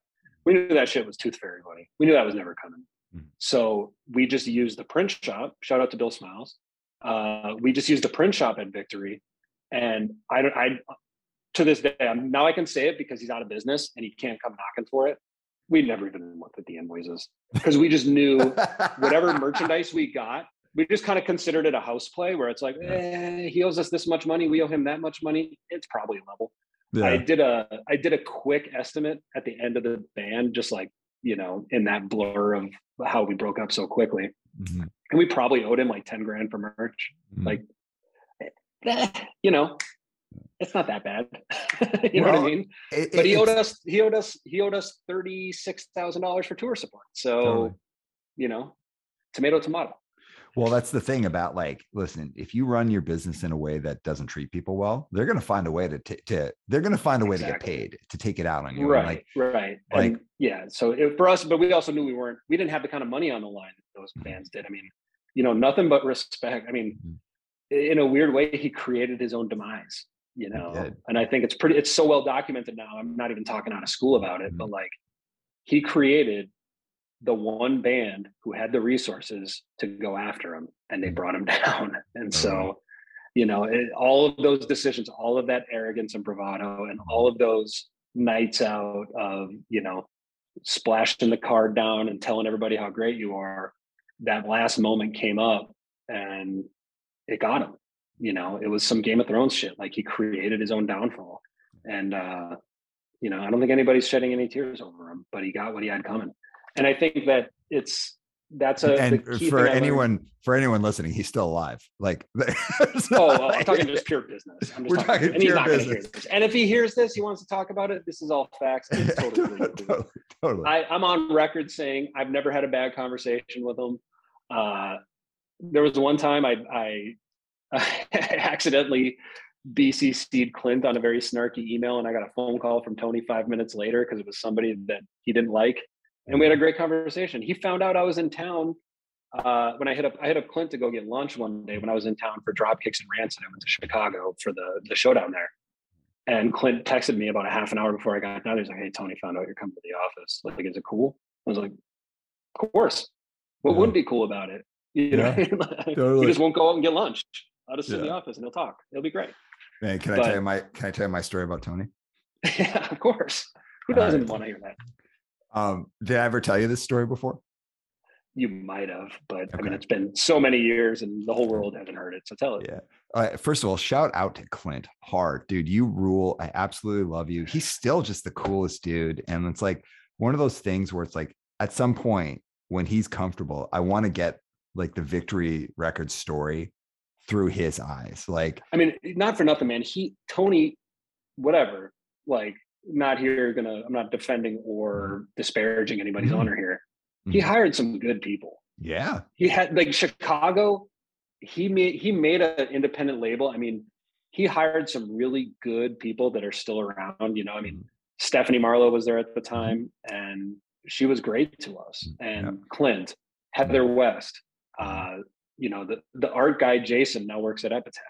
Mhm. Um, there's all there's a lot like Bill Smiles. I mean, he was in the print shop, you know, but he had he had good people in there, uh, Mhm. treating them differently. You know, that's not my my topic. I think that's pretty well documented. Monica was another person that worked there who was who was awesome, and so he did have a way of bringing in people who were committed. You know, um, it's the, the end thing. the down the end result is is a different topic, but the, Yeah. the people themselves he hired were good people who were committed for sure. Well, uh, dude, he built like he built a label that launched the careers of in of people who went on to go do insane things, who maybe would have been successful without victory, or maybe we would never have known who they were, or maybe they would have put out a record on a label that would have just like kind of just pushed a little bit. Like there are huge bands that that that his label is responsible for, and there are great people who've gone on to do so many things who either were on bands on his label or worked at the label. Like, I mean, the influence of what he did is huge, and his business practices were not good. Right. I mean, it also shows you like you can create an empire through two means, Mhm. you know. And he did have a little bit of an empire for a while, but at the whole time he was doing nothing but but trampling on people and making enemies. Mhm. And then the counterpart to that is there's a lot of people who, you know, and I'm not even talking about even Epi- I mean Epitaph's not even in that class. Like it's a different to- topic for me. Mhm. But there's a lot of there's a lot of labels out there. I would say in that similar world. I mean, whether it's hopeless or whether it's uh, I mean more recent labels like Pure Noise, where there is that treatment and that respect and that loyalty and that patience and that uh, reciprocal nature of things. Mhm. And it's not just a one way street. And I think that the Tony lesson of of I wish there was a I wish there was a way to make that a book. You know what I mean? Hopefully somebody. I mean, the only other book that was out there was that Ramsey Dean expose of him just talking about all the crappy behind the scenes thing that got leaked. But like, I mean, it was interesting, and I knew I knew him, and uh, it was uh, it was a fun thing to read, kind of. But I think like there's a certain level from music business, but all business in general, of just how I mean, it's, dude, it's very it's Trumpy, man. Let's be honest, it's Trump stuff. Mhm. Like it's a one way street. It's taking advantage of every corner, and you can still get to a get to an end with that, but it's not going to be a good one. Yeah, and I'm, I'm actually going to bring up something in a little bit of- around that. Um, but I like we said, you can build an empire by like st- like trampling people, or you can build an empire by like building people up and creating a great culture. And and I think that's 100% as easy as that. Like choose one of those roads, and it doesn't mean if you're gonna if you're building it up, you're always to do the right thing and be an angel. You screw up, you make bad decisions, but it's like if you aspire to build something that lifts people up, and you follow that practice, you might not get there as fast as someone else, but you'll likely build something that's going to last. Versus if you build something uh, by cutting every corner, stomping on people, it's like, yeah, you might get to the top, but eventually, for most people, there's going to be a curtain call. Let me tell you my Tony story though. So, Yep. um, the band I was in at the time had put out an LP that had done quite well and uh, we were getting you know asked about by other labels and we had two back-to-back meetings. We had one at victory records one day and then one at equal vision records the next day and they could not have been different more different meetings. So i was like the the like quote unquote business guy in the band uh, and we go to victory and we're there with clint who like god i love you clint you're the best. We go there with Yeah. we go there with clint and we get led into this like waiting room. It's like "To- tony will be here in a minute. And you know there's like a like an exercise machine you know like in Yeah. there and there's like framed pictures of the wall of him like standing on desks and being like ah. And i'm like this is like amazing. I i can't believe what i'm experiencing. Anyways dude keeps us waiting for i don't know like 20 30 minutes like late for his meeting. And it's the first like adult meeting i've been to I, I had already been a therapist at this point but this was the first like business meeting i'd ever been to Yeah. and I was like, is this guy like just running late or is this like some kind of weird power move? I got my answer instantly. We got ushered into this room he was behind, which I'm sure you've been in his office, like his humongous yeah. desk. He was wearing a baby pink Fred Perry polo with the collar popped. And yep. he comes out from behind the, the, his desk. He's like a little Napoleon guy, shakes my hand with this like bear claw. He's like, good to meet you, Aram. I was like, ah, he's crushing my hand. And we sit down, and I thought at that point, like I, I was like a trained therapist. Like I had been in all sorts of hairy conversations in my life.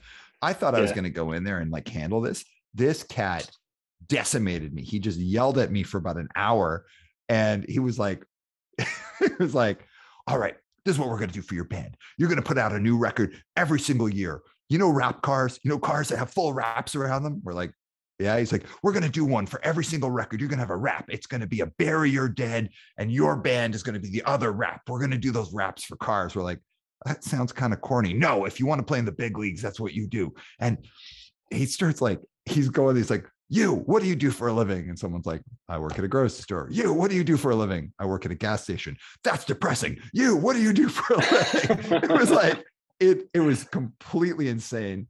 And then he was like, so are you guys ready to sign on? You ready to sign on to victory? And I was like, well, you know, we've got, we've got some other interests. We're just kind of like taking meetings right now. I was like, uh, meetings? Let me tell you something, man. Let me tell you something.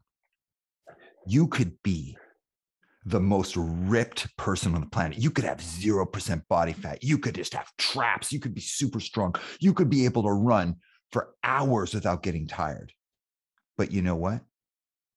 If the guy across the field from you has a better gun, he's got a better gun. He's got better bullets. And he's holding his hand and like touching as if there's bullets. He's like, if the guy across the field from you has a better gun, and this guy could be out of shape, he could be lazy, he could know nothing about anything. But if he has that better gun and he knows how to shoot it, I don't care how good you are, you're dead. Victory has the biggest guns, and we're holding all the bullets. And then it's just silent for a second. And I'm not kidding, it's just silent for a second. He goes, pull the trigger. was like, holy shit, I don't know what to do. I feel like I'm gonna like jump and scream and run away. Like if he'd put a contract in front of me, I probably would be like, okay, I'm so sorry. anyway, he leaves. Clint, who had probably seen this a million times, is like, right. You okay? And I'm like, I don't know what just happened. And then that night we went and played a show. The next day we play or we go to Equal Vision. We meet with Bill Scoville and Steve Reddy Steve Reddy yeah. is where is in like a cinder block office basically. He's wearing like running shorts and flip flops, and like one of his flip flops is kind of like gently dangling from his foot as he's talking to me. He's like, "Man, you guys are straight edge. I'm straight edge. Hardcore's awesome. You guys want to do a record?" And we're like, "Yeah, yes, we do. We want to do a record." They were offering us way less money, like a different right. kind of contract, everything. But like the experience of being in this like big office in Chicago and like having this dude who's clearly like done very well for himself and had all these huge bands yelling at us, but doing a hard sell versus this other guy who's also been very successful, had lots of big bands in in his like warehouse office basically, but who's totally relatable, totally real yeah. guy, comes from the culture, understands what we're about and the business meeting with him was basically just like oh yeah like love to do a record with you guys like you know like i love i love all the bands you love i'm still straight edge. Hey you guys want to go get burritos? And we're like uh, yes we do. And that's why we didn't put out a record in the end we broke up beforehand. But like i learned so much from what i would go on to do in business by these two different things. It's like we're talking to two people who had like literally multi-million dollar record labels right. and one of them is like a cartoon the other one is just like approachable. Who are you going to want to work with? Well and i think i think that that's it, yeah i mean it's the same thing that we've talked about in multiple different facets. It's just mm-hmm. like there's two different ways and, and i think the one thing that i take away from you know if i could take a lesson out of the victory world is just that i never want to work with somebody who doesn't want to work with me. Mm. you know what i mean? Like just imagine how miserable that is oh, where you have to you have to shut that part of your mind off where i don't need everybody that we work with to think i'm their best friend mm. but i think they need to know that they can reach out to me and i'm here to talk and i can i'm here to help out but I mean, we've had bands break their contracts with us, and what am I going to do? Sue them? You know what I mean? Like, there's a certain level of of just you know maybe there's a certain situation where I actually would do that. You never know. Never say never. But also, at some point, it's like, what do you gain from that? What do if a band doesn't want to work with you, or a person doesn't want to work with you? Mm-hmm. A contract, sure, you have that contract, but by the time that decision is hit, where they decide, and it's just natural. If people hit a point where they decide they don't want to work with you anymore, whether it's a client, what of any kind, any business, you've had enough conversations at that point as that relationship's declining, and you've had enough chances to kind of recognize it and step up and fix it before you hit that terminal point. And I just think that the the the component and the conversations and like reading that the book Sell Out by Dan Ozzi that he wrote recently, mm-hmm. like the, the experiences of bands like Thursday Mm-hmm. and uh, you know knowing some of the behind the scenes stuff just from being on the label at the time of what was going on with Taking Back Sunday, and then knowing some of the Hatebreed stuff just from you know passed down tales. It wasn't like I was having detailed stories, but I feel like a lot of that stuff has become public. I just can't imagine wanting to live in a world where you just create that level of contention and wallow in it. And I just that's not a way to be. That's not a way to live, and it's not a way to do anything for a long term. And I think that you know the ending of it makes sense. Mm, yeah, um, totally, man. In that case, you know, it just so happened that it was a different form of it, but there were other moments where, and and there are situations where bands decide, like sometimes irrationally, sometimes rationally, like they need to be in a different place for their band. Mm-hmm. But you can do that the right way, or you can do that the wrong way. And I think that it sort of comes down to not wanting to like. Why would you want to hold anybody against their will to work with you? because they signed with you for a reason or they're working with you. They, they agreed to work with your person, not to keep using label references, but it could go for consulting, it could go for anything. And just working, why would you want to work with somebody who just doesn't want to work with you? Totally, man. Like flat out, where it's just like a contentious, battle ridden, stressful relationship. It's totally. just miserable. All right, so we're we're heading a little bit towards the end of the interview. I do yeah. want to ask you about your time at Bridge Nine. So, yeah. Martyr AD wraps up. Yep. And correct me if I'm wrong, but was you were I think the title was label manager at Bridge Nine. Is that right? Right. Yeah. Okay. general manager, label manager, something like that. Was that your first like adult job, like real job?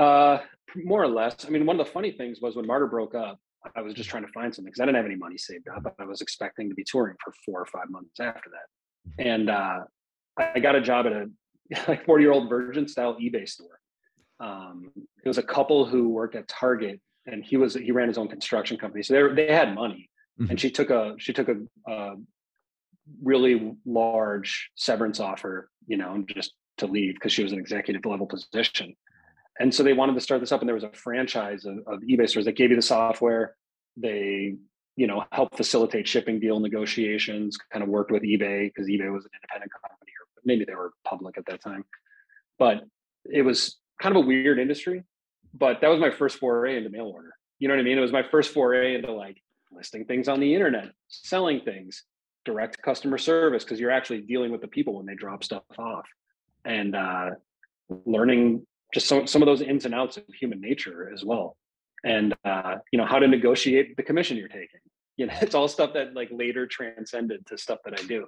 But it was, you know, there was high tides and like very like crazy moments and all of a sudden you have three staff people and i somehow i beat out i don't know how i beat out the there were some people who applied for that job because it wasn't a great job market and uh, they gave me the job because they just felt like i was going to dive in and they were right i would say in that first year like i only worked there for a year and uh, you know when i went out to boston when chris was hiring and the opportunity came up and i told them i was going to leave they weren't upset they're like we knew you wouldn't last forever here and uh, you know, if anything, like they they operated the store that first year and didn't lose money.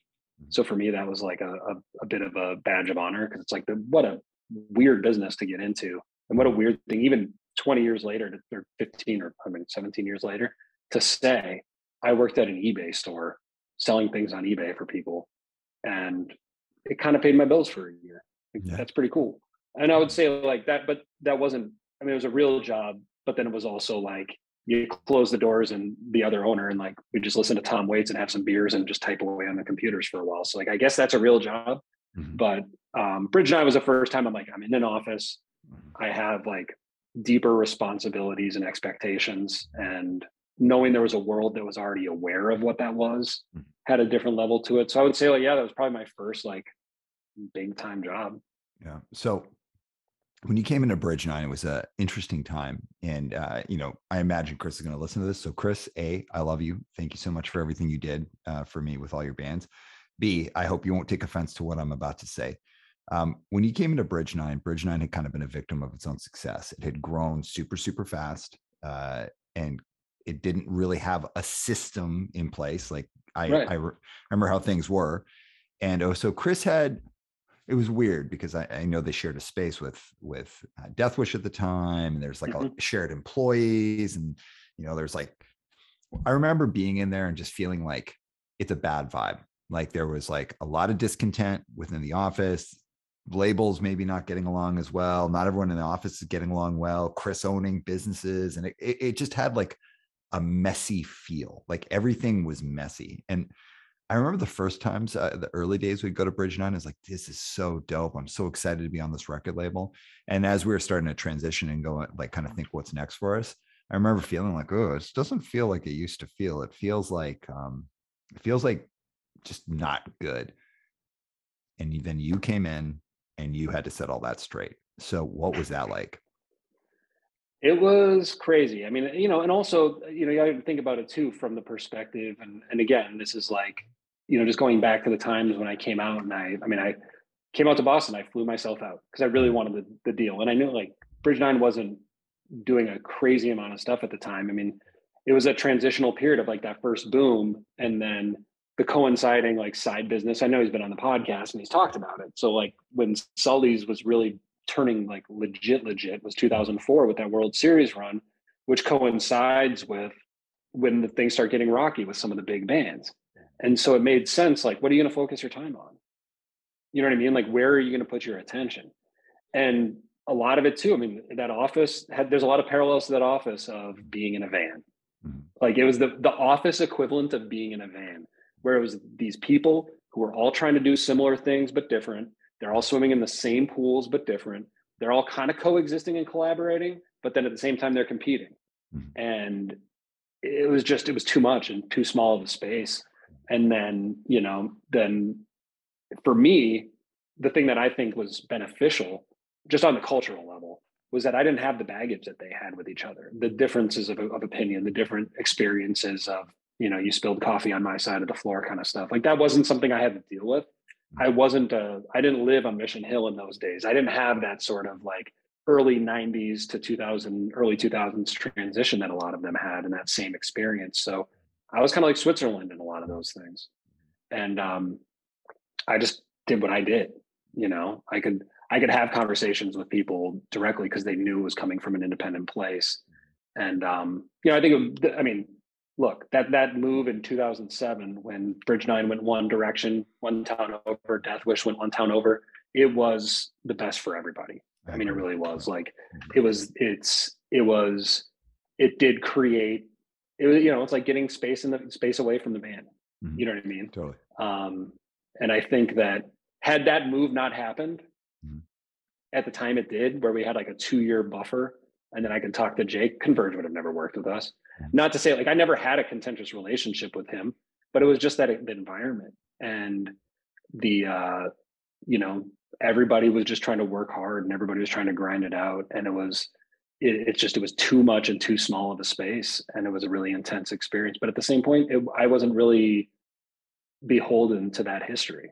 Mm-hmm. um, and i think it's i think it's awesome. I mean chris just had to move out recently because the building was being sold i think. I think that's why he moved out. But i mean death wish is still in that building that they moved into 15 years ago mm-hmm. and they're still running and i think they've taken over two or three floors since then. Mm-hmm. but it's uh it was a really it, there was things there was also a really fucking cool place to be. It was a cool environment you know one little section's the screen printing shop. Then you got pike and tara behind you yelling on the phone and, and like pike booked our band so there was a certain level of relatability and you, just the people you get to meet mm. and you know going back on it and looking back on it it's like i do think we whether or not it was a positive in hindsight for everybody it was a really formidable time and it was a really cool thing to think of mm-hmm. how young everybody was mm-hmm. and how you know i mean going back to that initech office like the the office behind fenway how young everybody was and they're doing what they were doing and how little of a guidebook you know? Yeah. Um and that part to me is just like i don't know that the world will ever have that again. And to be there like i wasn't on the ground floor. Um if anything i was sort of like brought in as like a renovation crew. But i was like i look back on it and it's just like man that was really cool.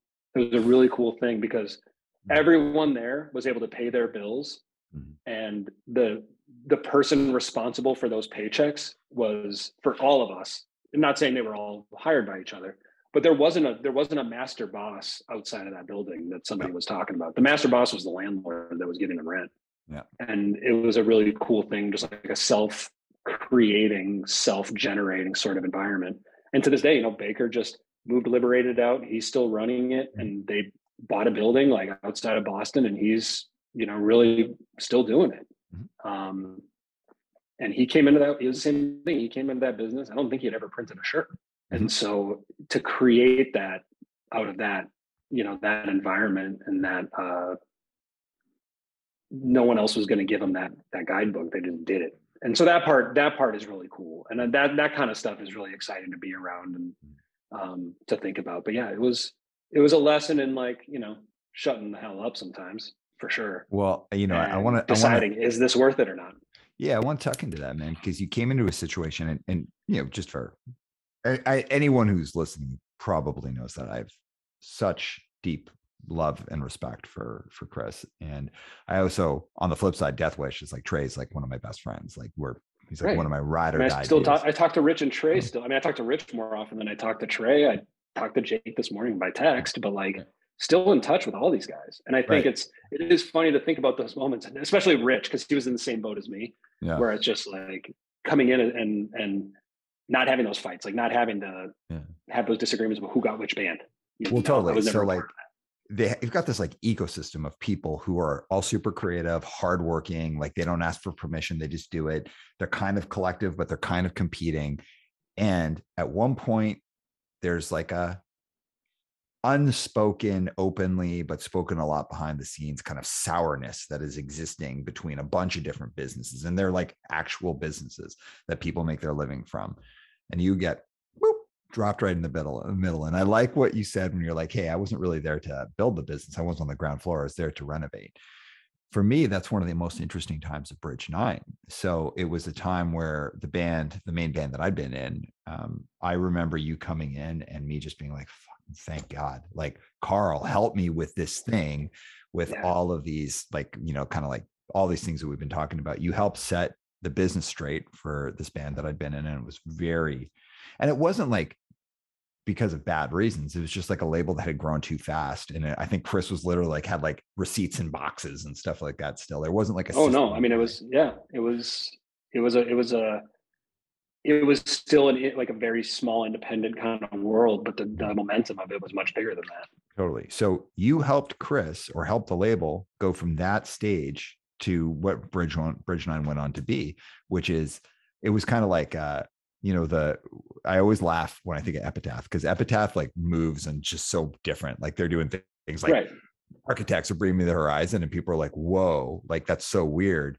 Think like when rev was doing like all of these bands it's like oh rev has gotten so weird now bridge nine ended, ended up having its kind of like weird phase too right where you started yeah. doing more like indie bands and bands that yeah. were super cool bands but bands that i think had more commercial appeal um, how much were you involved in that?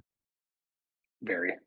Yeah. I mean, was Chris that, was, was that very, your choice or was that like your idea? Or was it Chris's or was it? I think Chris was open to it. I definitely drove it. I mean, it's been a long time since I've thought about that stuff because part of it is just, I don't look back and analyze it too much. Um, but yeah, I mean, I think he was always very supportive, I think, of that. You know, I mean, sometimes there were things, different bands and you know but once the once the momentum starts building there was a lot of freedom there you know i mean like whether it was um i don't know pick a band i mean Crime in Stereo i mean he had that Have Heart things we carry hadn't come out yet by the time i started there and that the label was kind of trying to figure out what to do there and because it was you know it was a transitional period um but that hadn't come out yet. So that was obviously coming out. I think that came out in August of that year.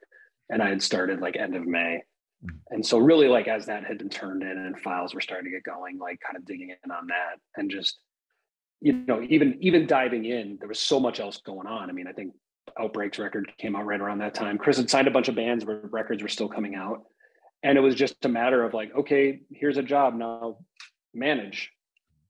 What you know what does that mean? Like manage what? Like what does that even entail? And very quickly you realize it's just you know you fill your day up and you, you figure it out. Mm-hmm. um, but then as like opportunities came up i mean i went to the first this is hardcore and that was a, an experience for me of like what seeing h2o and realizing holy shit these guys still kick ass. Mm-hmm. like this band is still awesome mm-hmm. and it, i mean it's funny to think about how long ago that was but they had put out that record on the major and kind of floundered for a little while, but came out in top form, man. Top top form. And Paul from Kill Your Idols was playing bass for them on that run, and he's an old friend of mine.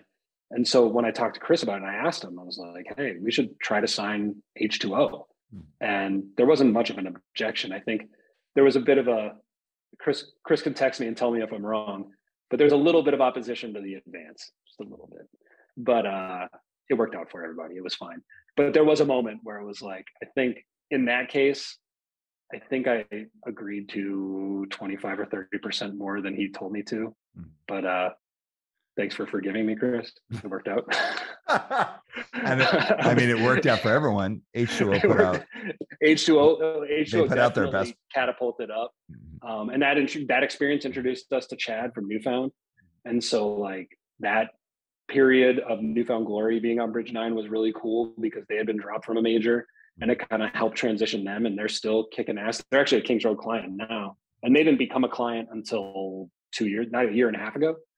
And so it wasn't like it happened right away yeah. um, and so just having those kind of experiences and those kind of things and understanding like yeah some people are gonna you know look down upon this but then also to be able to be able to work with you know ceremony who was still at that moment hardcore i mean i think the record that came out after i left is my favorite record of theirs you know Rohnert Park but the band we signed at the time was still just like a fierce hardcore band. And uh, then you have Crime Stereo, who was totally different. Death Before Dishonor was doing their own thing, and they were starting to cook really strongly in Europe. But they were already going by the time I got there. But it was just a it was a fun thing to be around and to. It felt like there was something really cool developing, and I think there was. There was something kind of unique, and mm-hmm. and uh, it was a cool time. But there were the weird bands, you know. I, I mean, we had. I mean, and even the the fact that like a band like Have Heart because of what what was done behind the scenes and and obviously their own creation, but like they legitimately were on the Billboard Top 200. You know what I mean? Like yeah. that's fucking crazy. It's still well, crazy to think about. Have Have Heart but, are Have Heart are, in my opinion, um, well, they're a timeless band for sure. But right, I think sure. maybe the maybe the biggest hardcore band of all time. Uh, maybe. I mean, that's the thing is like you got to think about like Sick of It All and those kind of bands from when we were growing up. I mean, Hatebreed mm-hmm. they were selling more records mm-hmm. and they were playing some big shows. Like, I mean, Hatebreed still, you know, they're they have hardcore roots. I mean, it's like, are they hardcore? Are they metal? It's like I kind of call them the motorhead of the hardcore metal scene, where it's just like they kind of are those things, but mm-hmm. you know, I mean, definitely. I mean, they were playing shows with Code 13 in Minneapolis. Like their roots are definitely a hardcore band. But in terms of like what maybe traditional hardcore, I would say so. Because even like what was, I mean, American Nightmare at the time like they probably sold more records, but it was a smaller world. Mm-hmm. You know what I mean? And I think the have heart staying power is something that I think is really amazing to see. Yeah, I mean, um, just uh, you know, the cultural impact in that band of that band cannot be undersold, and, and, I don't think anyone is. I don't think anyone's trying to undersell. I don't think I don't think there's anyone underselling what they've yeah. done. I think if anyone's going to undersell it, they're going to be the first ones to be honest about it. I, I, would agree. But like, they they were a band that they were one of those bands that had those opportunities. I mean, they had big managers trying to sign them.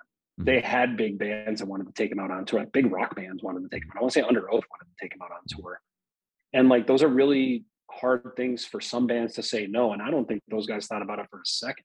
They're just like, especially, especially when you're young, right? And that's again that right. idea of like when you're when you're doing something and it's meaningful to people, you've got some choices, and you can do choices that would catapult that and you can milk it and there's nothing wrong with that i think a lot of people do that and that's that's fine but it, it's that like to what degree to what degree are you comfortable milking something or taking those leaps to be successful and what do you lose for it? Uh, i think have heart obviously made all the well i don't know all the decisions they were faced with but uh, it, i'd say from a fan perspective and from a cultural perspective they certainly their impact was huge now i, I want to focus on you though just for another few minutes before we start wrapping yeah. up all right I don't want to get into specifics like bands, da, da, da, da, but like I also know in your time uh, in doing this kind of work, you've had to deal with some extreme situations and some extreme yeah. personalities, like really, really tough personalities. And like really specifically, I remember one time just thinking like, I, you and I have always been like friendly, and you know, I'd say like friends, like we know each other, but it's right. not like we spend a lot of time. There was one there was one time i remember reflecting on something that was happening in a, in a, a, situation you were dealing with music related and i thought karl's a really good guy. Like he and and just your like integrity was shining through like just integrity. And it really stood out for me of like when you're involved in business and like we all know the kind of classic like eh, like business person like you know like doing like right. doing the dirty behind the scenes like being crappy. But like really practically like in the business world it is very easy in big big big business to do shitty things. And there's a lot of pressure to do it a lot of people willing to look sideways a lot of just going with the culture. And like i think most people especially in the punk scene come up and kind of look at business and be like oh that's bad. But flip it like subculture punk hardcore like whatever sub- subculture there's tons of awful shit that happens and oh, yeah. really bad really bad business stuff like straight up bad business stuff and it is actually our version of that shitty business person like doing dirty deals behind the scenes or being shitty or or kind of letting the bad things happen without saying anything because it's going to cost you financially or culturally and I, I really like i admire you a lot because i know you've been in some situations like that and from at least from my perspective you've walked the right path now i'm not trying to get you to talk about anything specific but just right. really like was that something that was always in you or was it something that you made a decision to do uh, when you were in this I world i think it's one of those things and this goes whether it's physical conflict or verbal conflict mm-hmm. I, I, try to avoid it until the last possible step. Um, and so how do you do that you know because it's like you can't be just willing to push over but i just think it, it comes back like what the things that you'll get into conflicts about like if, if somebody made a mistake if you made a mistake or if somebody responsible for it made a mistake, it's a lot easier to be like, hey, they screwed up. They work for me. I didn't make the mistake, but it's my mistake. Mm-hmm. Like, how do we fix that? Like, I made the choice to hire them. I don't regret hiring them, but I trust them. The person I trusted made a mistake. So it's my world to clean up. Um, and I think that that kind of comes with, you know, once you deal with everybody openly, you know, and you deal with things transparently and you don't hide a bunch of crap, it makes those resolutions a lot easier. And so, you know, whether it's, you know, diffusing a situation or whether it's clarifying something or whether somebody, I mean, I've had people accuse me of stealing from them. You know what I mean? But you want to see our, I'll literally do a screen share and show you my accounting system and show you where the money comes in. And if you don't like how that report looks, well, I'm sorry, like I can't change that. But I can tell you that this is I'll give I'll open the doors to the castle up and you can see what I'm looking at. And I've actually done that before. Uh, they still left. But I think it's also one of those things like I'd rather have it be I'd rather have those departures be on good terms if somebody's going to leave. Um, there's nothing to be gained from having those sort of bad blood, that bad blood in the world. So I think that's just always kind of been a, I don't know that it was any sort of deliberate conversation. I think it's just life is hard. Life is stressful. Mm-hmm. You know, forgetting the pandemic and everything else going on, and, and regardless of of whatever civil issues are going on, and there's plenty to choose from. You know what I mean? There's there's plenty of things in the world that are awful, but even without that, even without those things, there's still just it's short, and there's no point in creating that wallowing in negativity. And so, just being honest and being open and getting to a resolution as quickly as possible really is just sort of the not even the easiest way to go because it can be hard sometimes mm-hmm. but it is the best way to carry on you know I mean i one of my one of my very specific memories and i might have told this on a different podcast but uh, we had we have a we, we've been working with dropkick murphys for 10 years now um, mm-hmm. and they're on a six month contract So they, at this point, are free to they they could fire us anytime, you know, and it's been that way since the deal started. And we weren't a big company when they started working with us. And they gave us that trust. And so that's one thing I've never taken for granted. But our first tour order for them, first first tour, the first show was in Toronto.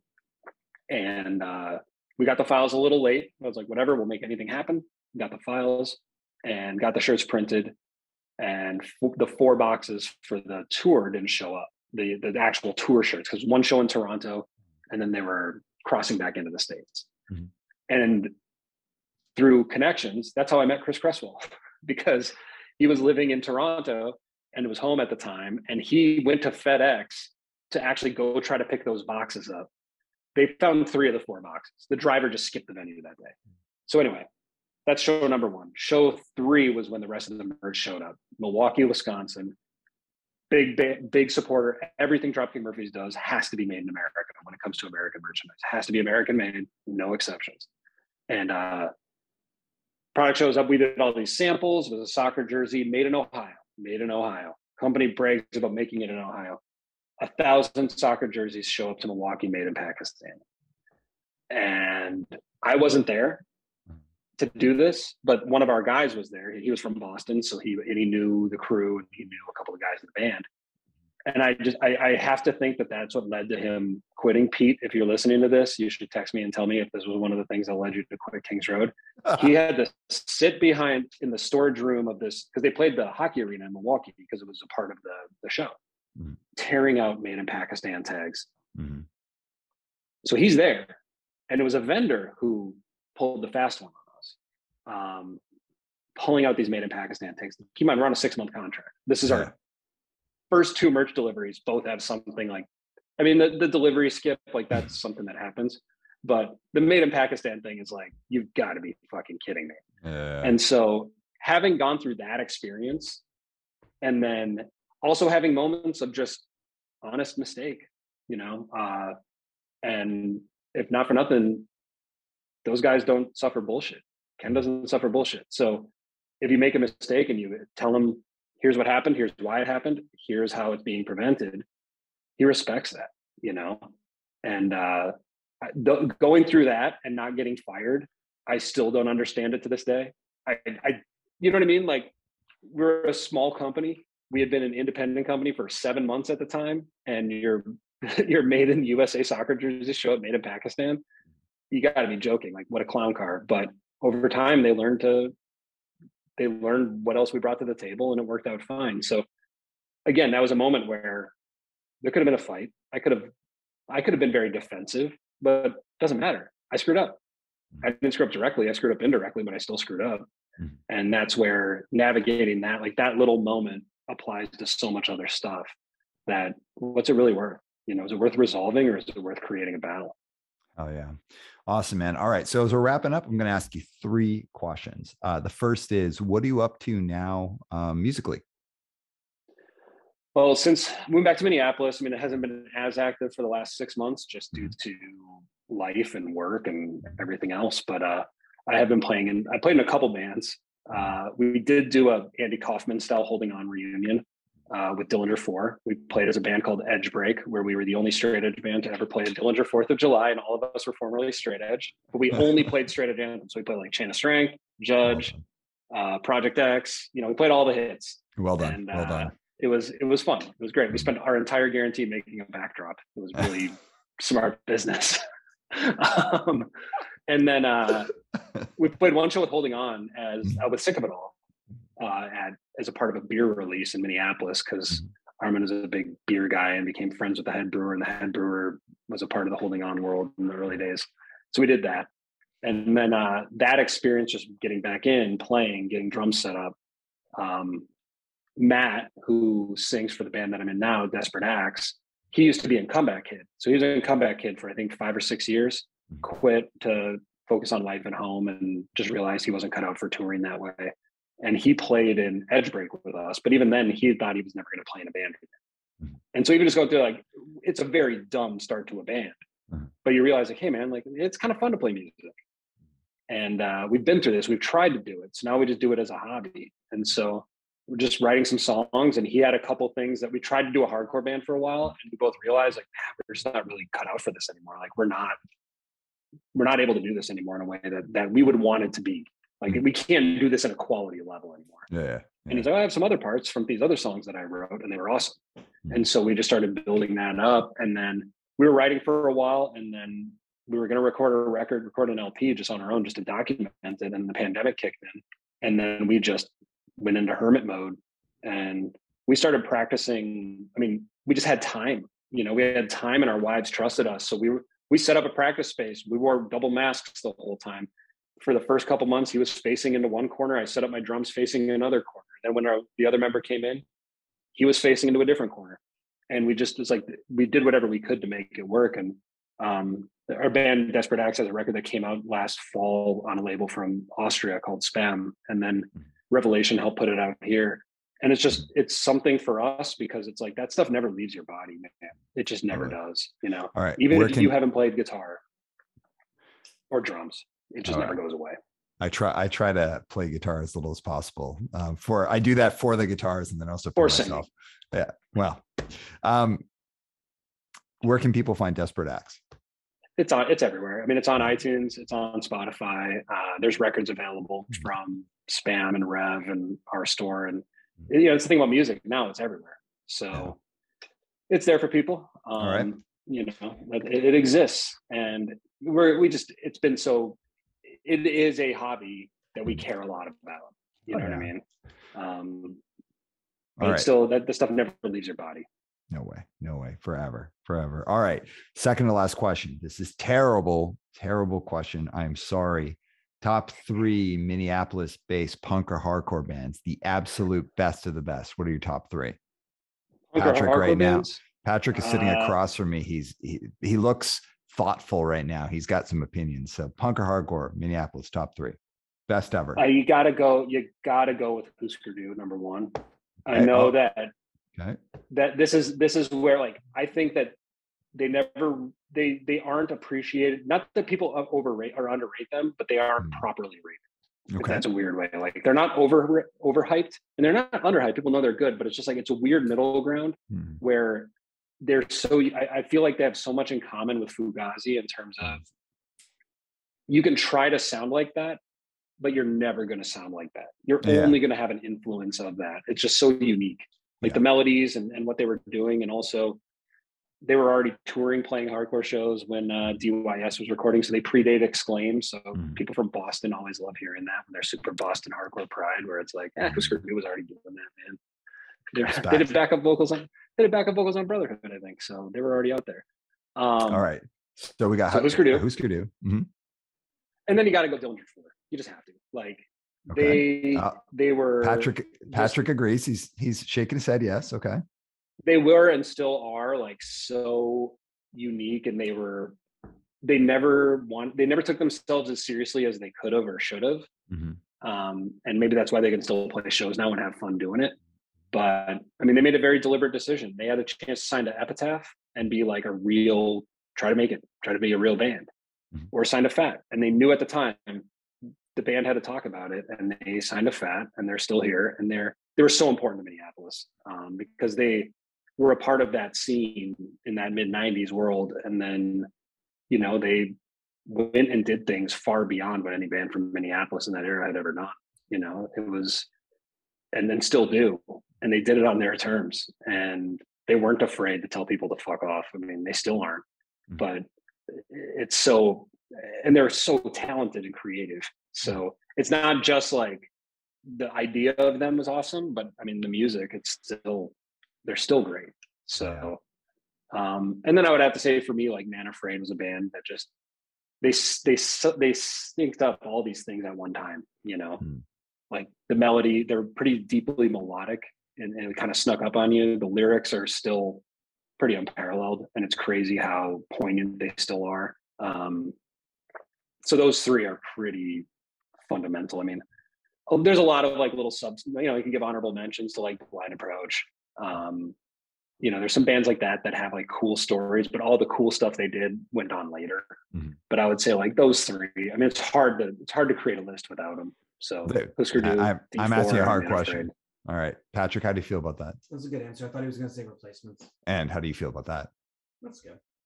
I like the replacements.